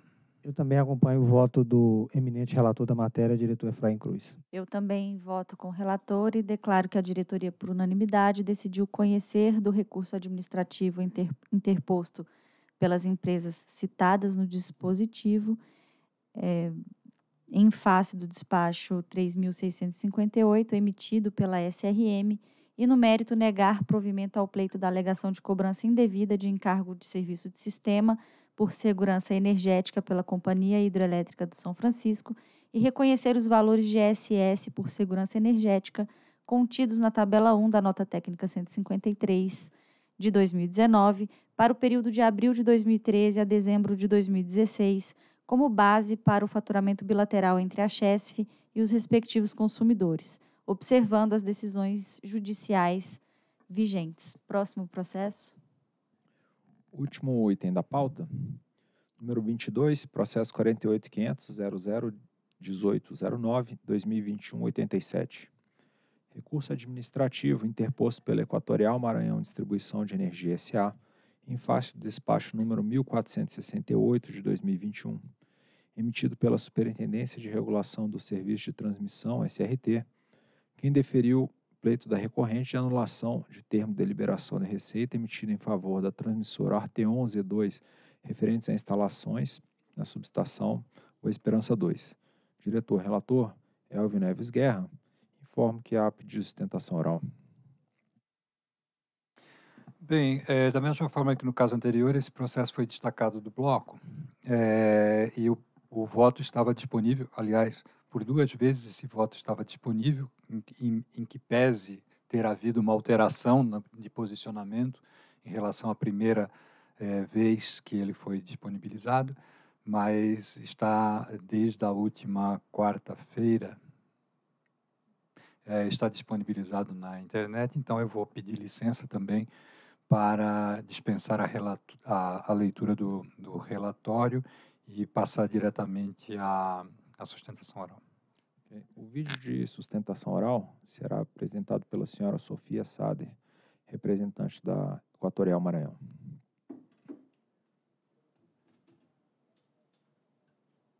Olá, cumprimento todos os integrantes da mesa e agradeço a oportunidade de fazer a sustentação oral em nome da Equatorial.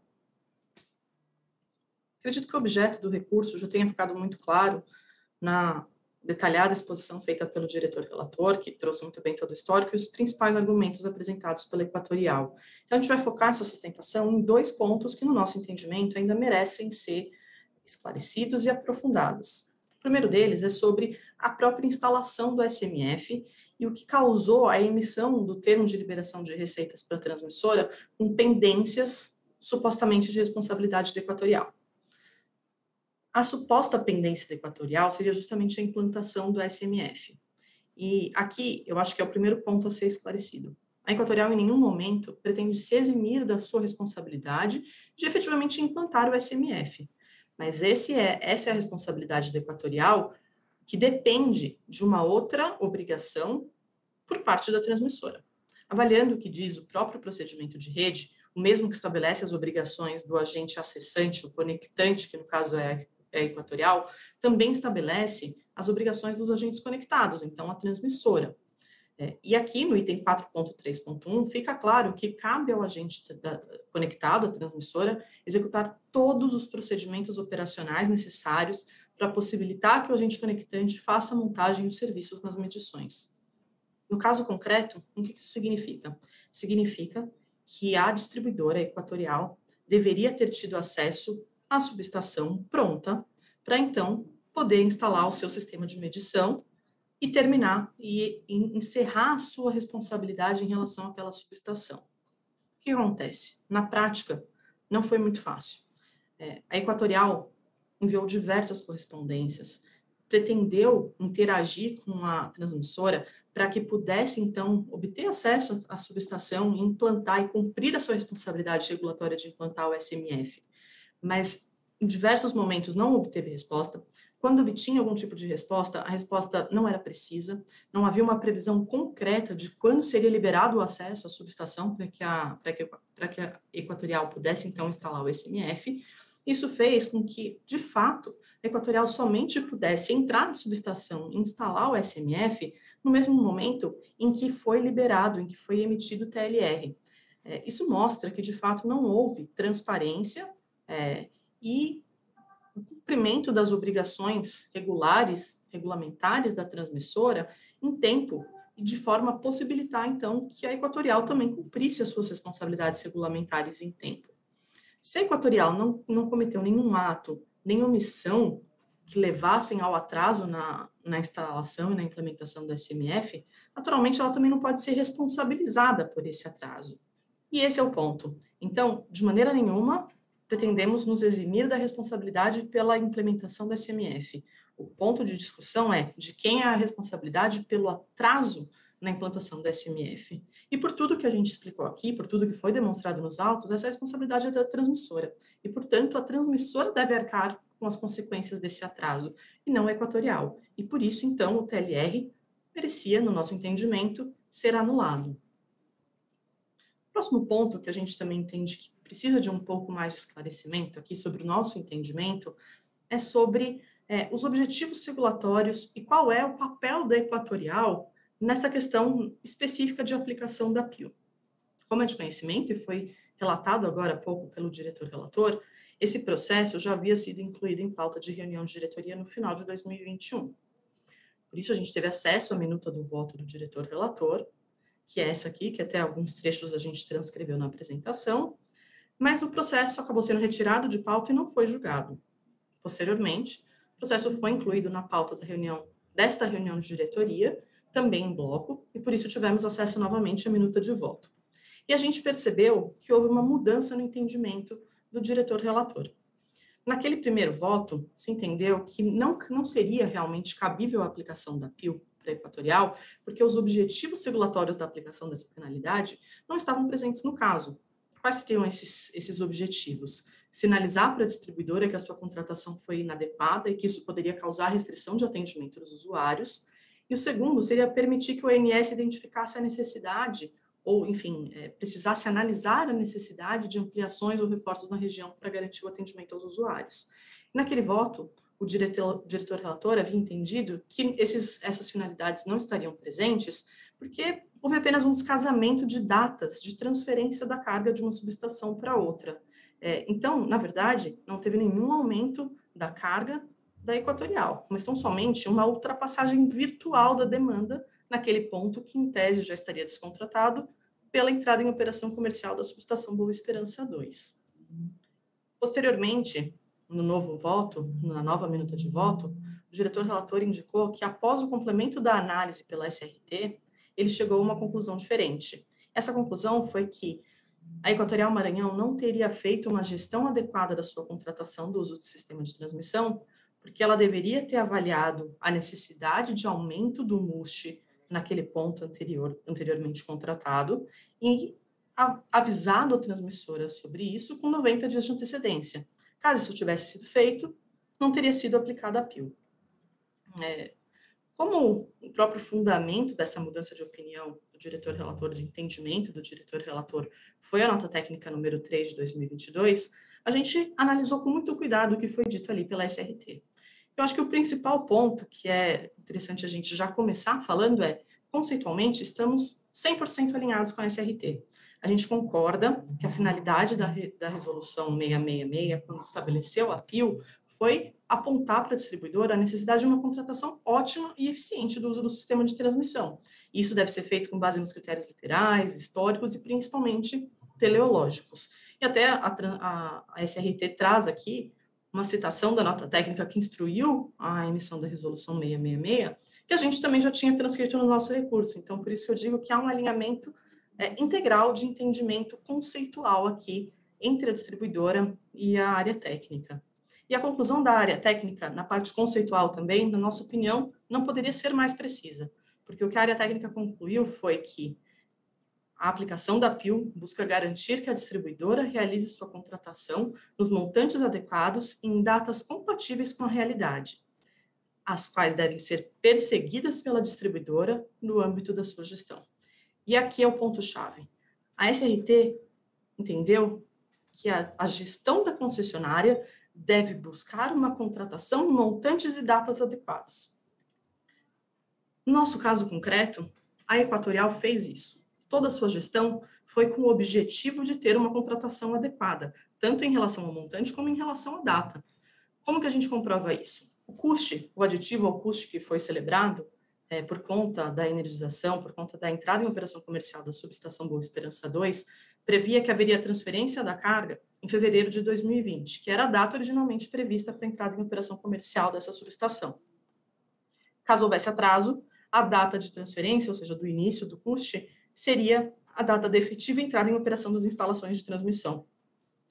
Então, janeiro de 2020, então aproximadamente dois meses antes da entrada em operação comercial originalmente prevista, Equatorial começou a enviar correspondências para a transmissora para saber se efetivamente haveria a operação comercial em fevereiro de 2020.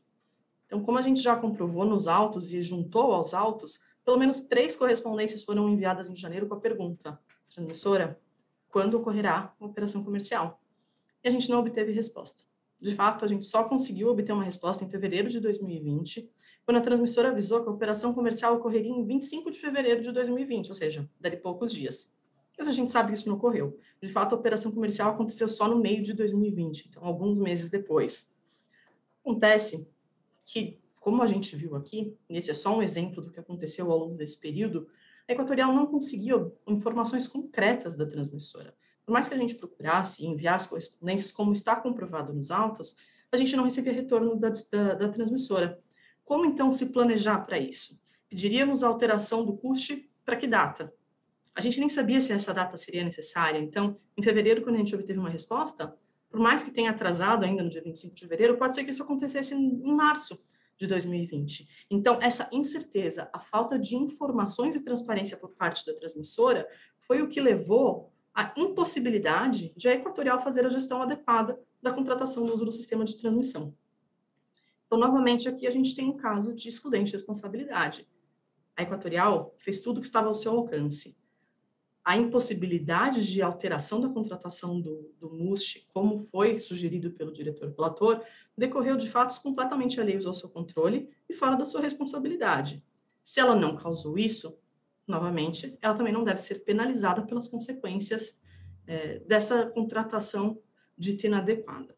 Então, também por isso, a gente entende que deve ser reconhecida a excludente de responsabilidade nesse caso e anulada ou expurgada a PIL que foi aplicada para a Equatorial em relação ao mês de junho de 2020, especificamente em relação à subestação Boa Esperança 2.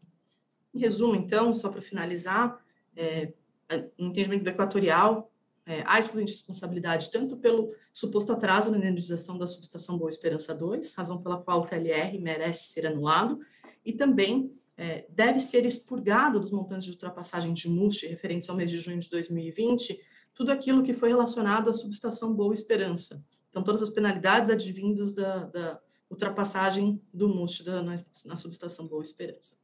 Muito obrigada. Agradeço a sustentação oral realizada pela Sofia Sader, representante da empresa. Chamo agora a Procuradoria para manifestação. Senhores diretores, é, agradeço a Sofia pela sustentação oral.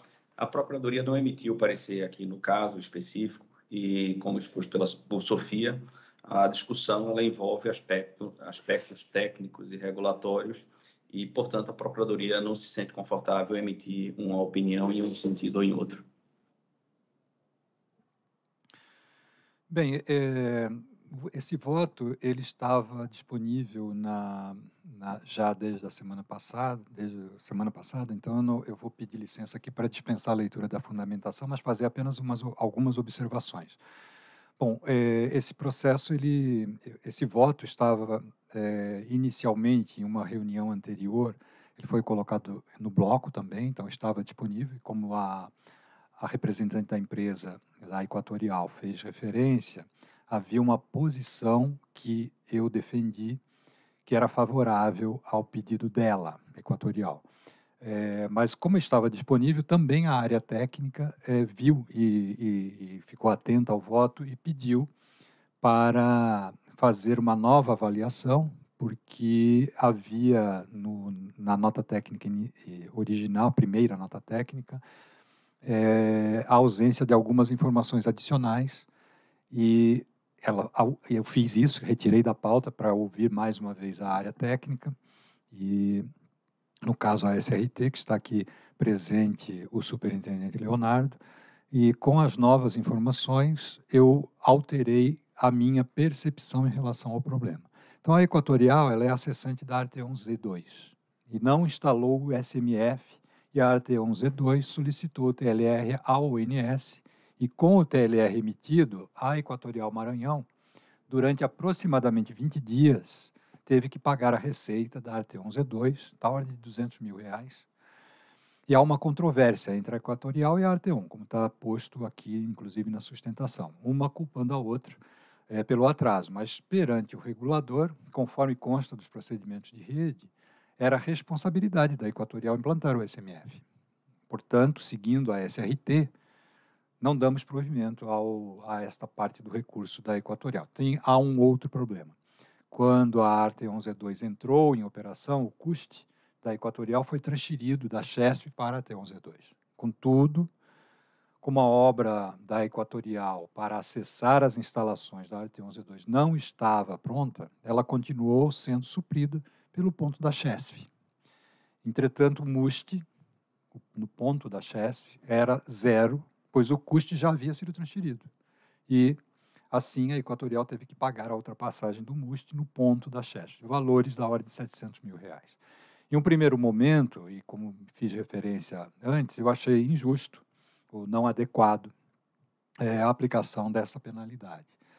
Porém, após a complementação da SRT, como eu fiz referência no processo, eu verifiquei que a Equatorial possuía defesa regulatória. Ela poderia ter solicitado a, o aumento do MUST no ponto da Chesf, com 90 dias de antecedência, porém não fez. Então, assim, é, por essa razão é que eu entendo e mudei meu entendimento em relação ao, ao processo, é, entendendo ser correto o não provimento do recurso da Equatorial em relação à ultrapassagem do MUST. E vou pedir, então, licença à diretora Elisa, diretor Sandoval, para passar diretamente a leitura do dispositivo. Diante do exposto, que consta no processo 48.500.001809-2021-87, voto por conhecer e, no mérito, negar provimento ao recurso interposto pela Equatorial Maranhão Distribuição de Energia S.A. em face do disposto de, no, em face do despacho, perdão, número de, eh, 1468 de 24 de maio de 2021, no sentido de negar provimento ao pedido de anulação do termo de liberação de receita emitido em favor da, da transmissora Arte 11E2, referente a instalações na subestação Boa Esperança 2, e negar provimento ao pedido para o afastamento da aplicação de parcela de ineficiência por ultrapassagem por conta da ultrapassagem do montante de uso do sistema de transmissão na subestação Boa Esperança no mês de junho de 2020. É o voto. Em discussão.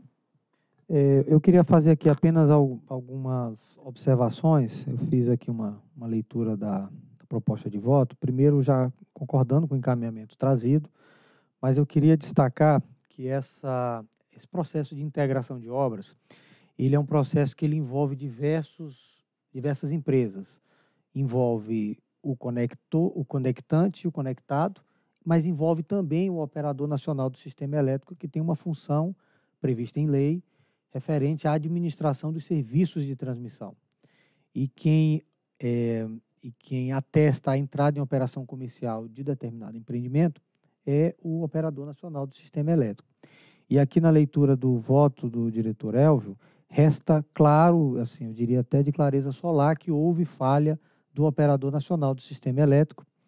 E aqui eu vou abrir aspas aqui. O ONS informou sobre a análise de mérito da manifestação da Equatorial somente em 8 de setembro de 2020, quando deveria ter realizado essa análise antes da emissão do próprio TLR, qual seja em 10 de junho de 2020. Então, nós temos aqui aproximadamente 90 dias de, de atraso nessa obrigação regulatória do ONS. Nesta manifestação extemporânea, o ONS esclareceu que a confirmação de atendimento do SMS com relatório de comissionamento de fato, é um requisito impeditivo para operação integrada. Por este motivo, somente quando a Equatorial encaminhou o relatório de comissionamento em 16 de junho de 20, o ONS, após análise, cessou os efeitos do TLR em 18 de junho de 20. O primeiro ponto que eu queria destacar é que é, se nós tivéssemos aqui um processo perfeitamente executado dentro da sua tempestividade e tudo mais, é claro, é fazer um, ex um exercício de futurologia, mas provavelmente a Equatorial não teria atrasado, nós não teríamos atraso na conclusão do empreendimento. Eventualmente, essa cobrança de, de, de ultrapassagem no ponto de Boa Esperança talvez não tivesse ocorrido. E, de fato, nós estamos falando aqui de, um, de uma penalidade com relação ao TLR e com relação ao, a, a ultrapassagem na ordem de um milhão de reais, talvez isso não fosse imputado à distribuidora. Então, eu vejo aqui uma primeira alteração, que eu, uma complementação ao voto, que eu gostaria de submeter ao colegiado, é que seja ah, determinado a área de fiscalização apurar a conduta do ONS neste processo de integração em específico. Esse é um primeiro ponto. E um outro ponto, apenas uma contesta, constatação, na realidade, há obrigação regulatória e há prazos que foram acordados bilateralmente entre as duas empresas. Aparentemente, o acordo bilateral não foi honrado e nós passamos a adotar o regulamento específico, stricto senso, que atribui à Equatorial a responsabilidade pelo SMF. Então, é, um outro ponto que eu queria também aqui pontuar é que há o regulamento e há um acordo. O acordo foi feito, aparentemente não foi honrado entre as partes e nós não devemos é, é, tutelar acordos bilaterais e sim o que está na regra. Então, feito isso, é, doutor Elvio, eu apenas sugeriria no, no, presente voto, apresento uma contribuição para que seja determinado a SFE a apurar o processo de integração deste empreendimento. Ok, diretor Sandoval, eu, eu é, fiz referência no, na fundamentação a, essas, a esse fato, né, que de, é, como está colocado, e o diretor Sandoval repetiu aqui exatamente o que está escrito no, no parágrafo 26 do, da, minha, da fundamentação do meu voto, é, de fato, o ONS poderia e deveria, na verdade, mais do que poderia ter é, feito tudo o que precisaria ser feito antes do que fez, né? Foi somente em 10 de junho de 2020. Perdão, em 8 de setembro de 2020, quando deveria ser até 10 de junho de 2020. É, eu não fiz a, uma referência a uma fiscalização do ONS, porque é um fato, ele, ele, ele está consagrado, né, e é um fato que já que existe. E o que eu, eu é, proporia, diferente de envolver a fiscalização, é que nós, o próprio colegiado, e eu mesmo como relator posso fazer isso, encaminhar uma correspondência ao ONS solicitando que ele justifique esse, a, essa situação e, eventualmente, a partir dessa manifestação do ONS, nós envolveríamos aí sim a fiscalização, ou eventualmente o, a própria SRT, para é, tratar do tema. Foi essa a razão para eu não, não ter colocado a, a, aqui a fiscalização, mas poderia fazer isso é, não, não afeta o resultado do processo, né? mas, enfim, poderia ter aí até uma recomendação ou uma determinação de que o próprio ONS é, avalie os seus ritos para que é, situações como essa não ocorram, não voltem a ocorrer. Bem, eu, eu como eu identifiquei aqui pelo relato uma, uma uma não conformidade, né, eu fico meio preso ao meu ofício, vamos dizer assim, ainda a etapa, o período que mais tive na agência foi na área de fiscalização.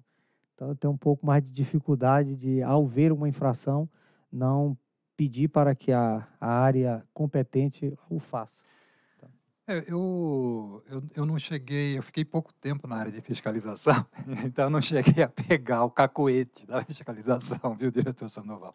Mas eu acho que o, o resultado, da, na, na, forma como eu propus, como é, você propõe, eles vão, vão ser os, os mesmos, será o mesmo. Então, eu acompanho a sua proposta de, de voto, de, de complementação do voto. Bom, sendo assim, feitas manifestações, eu vou abrir aqui para votação a proposta de dispositivo do diretor Elvio com a complementação é, sugerida pelo diretor Sandoval de determinar uma fiscalização, é, a qual eu concordo também, previamente. Então, em votação. Eu acompanho a proposta de voto com a, a inclusão já aceita pelo diretor Elvio.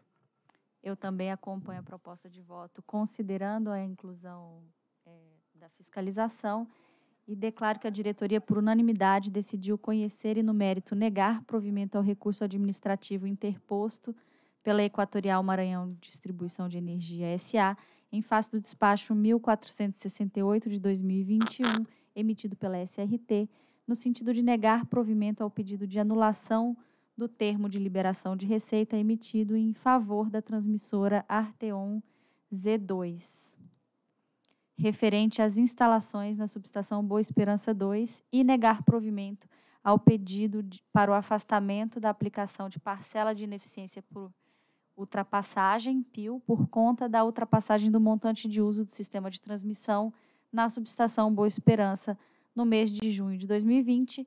E aí a gente pode ajustar um texto em determinar a fiscalização ao ONS pela SFE.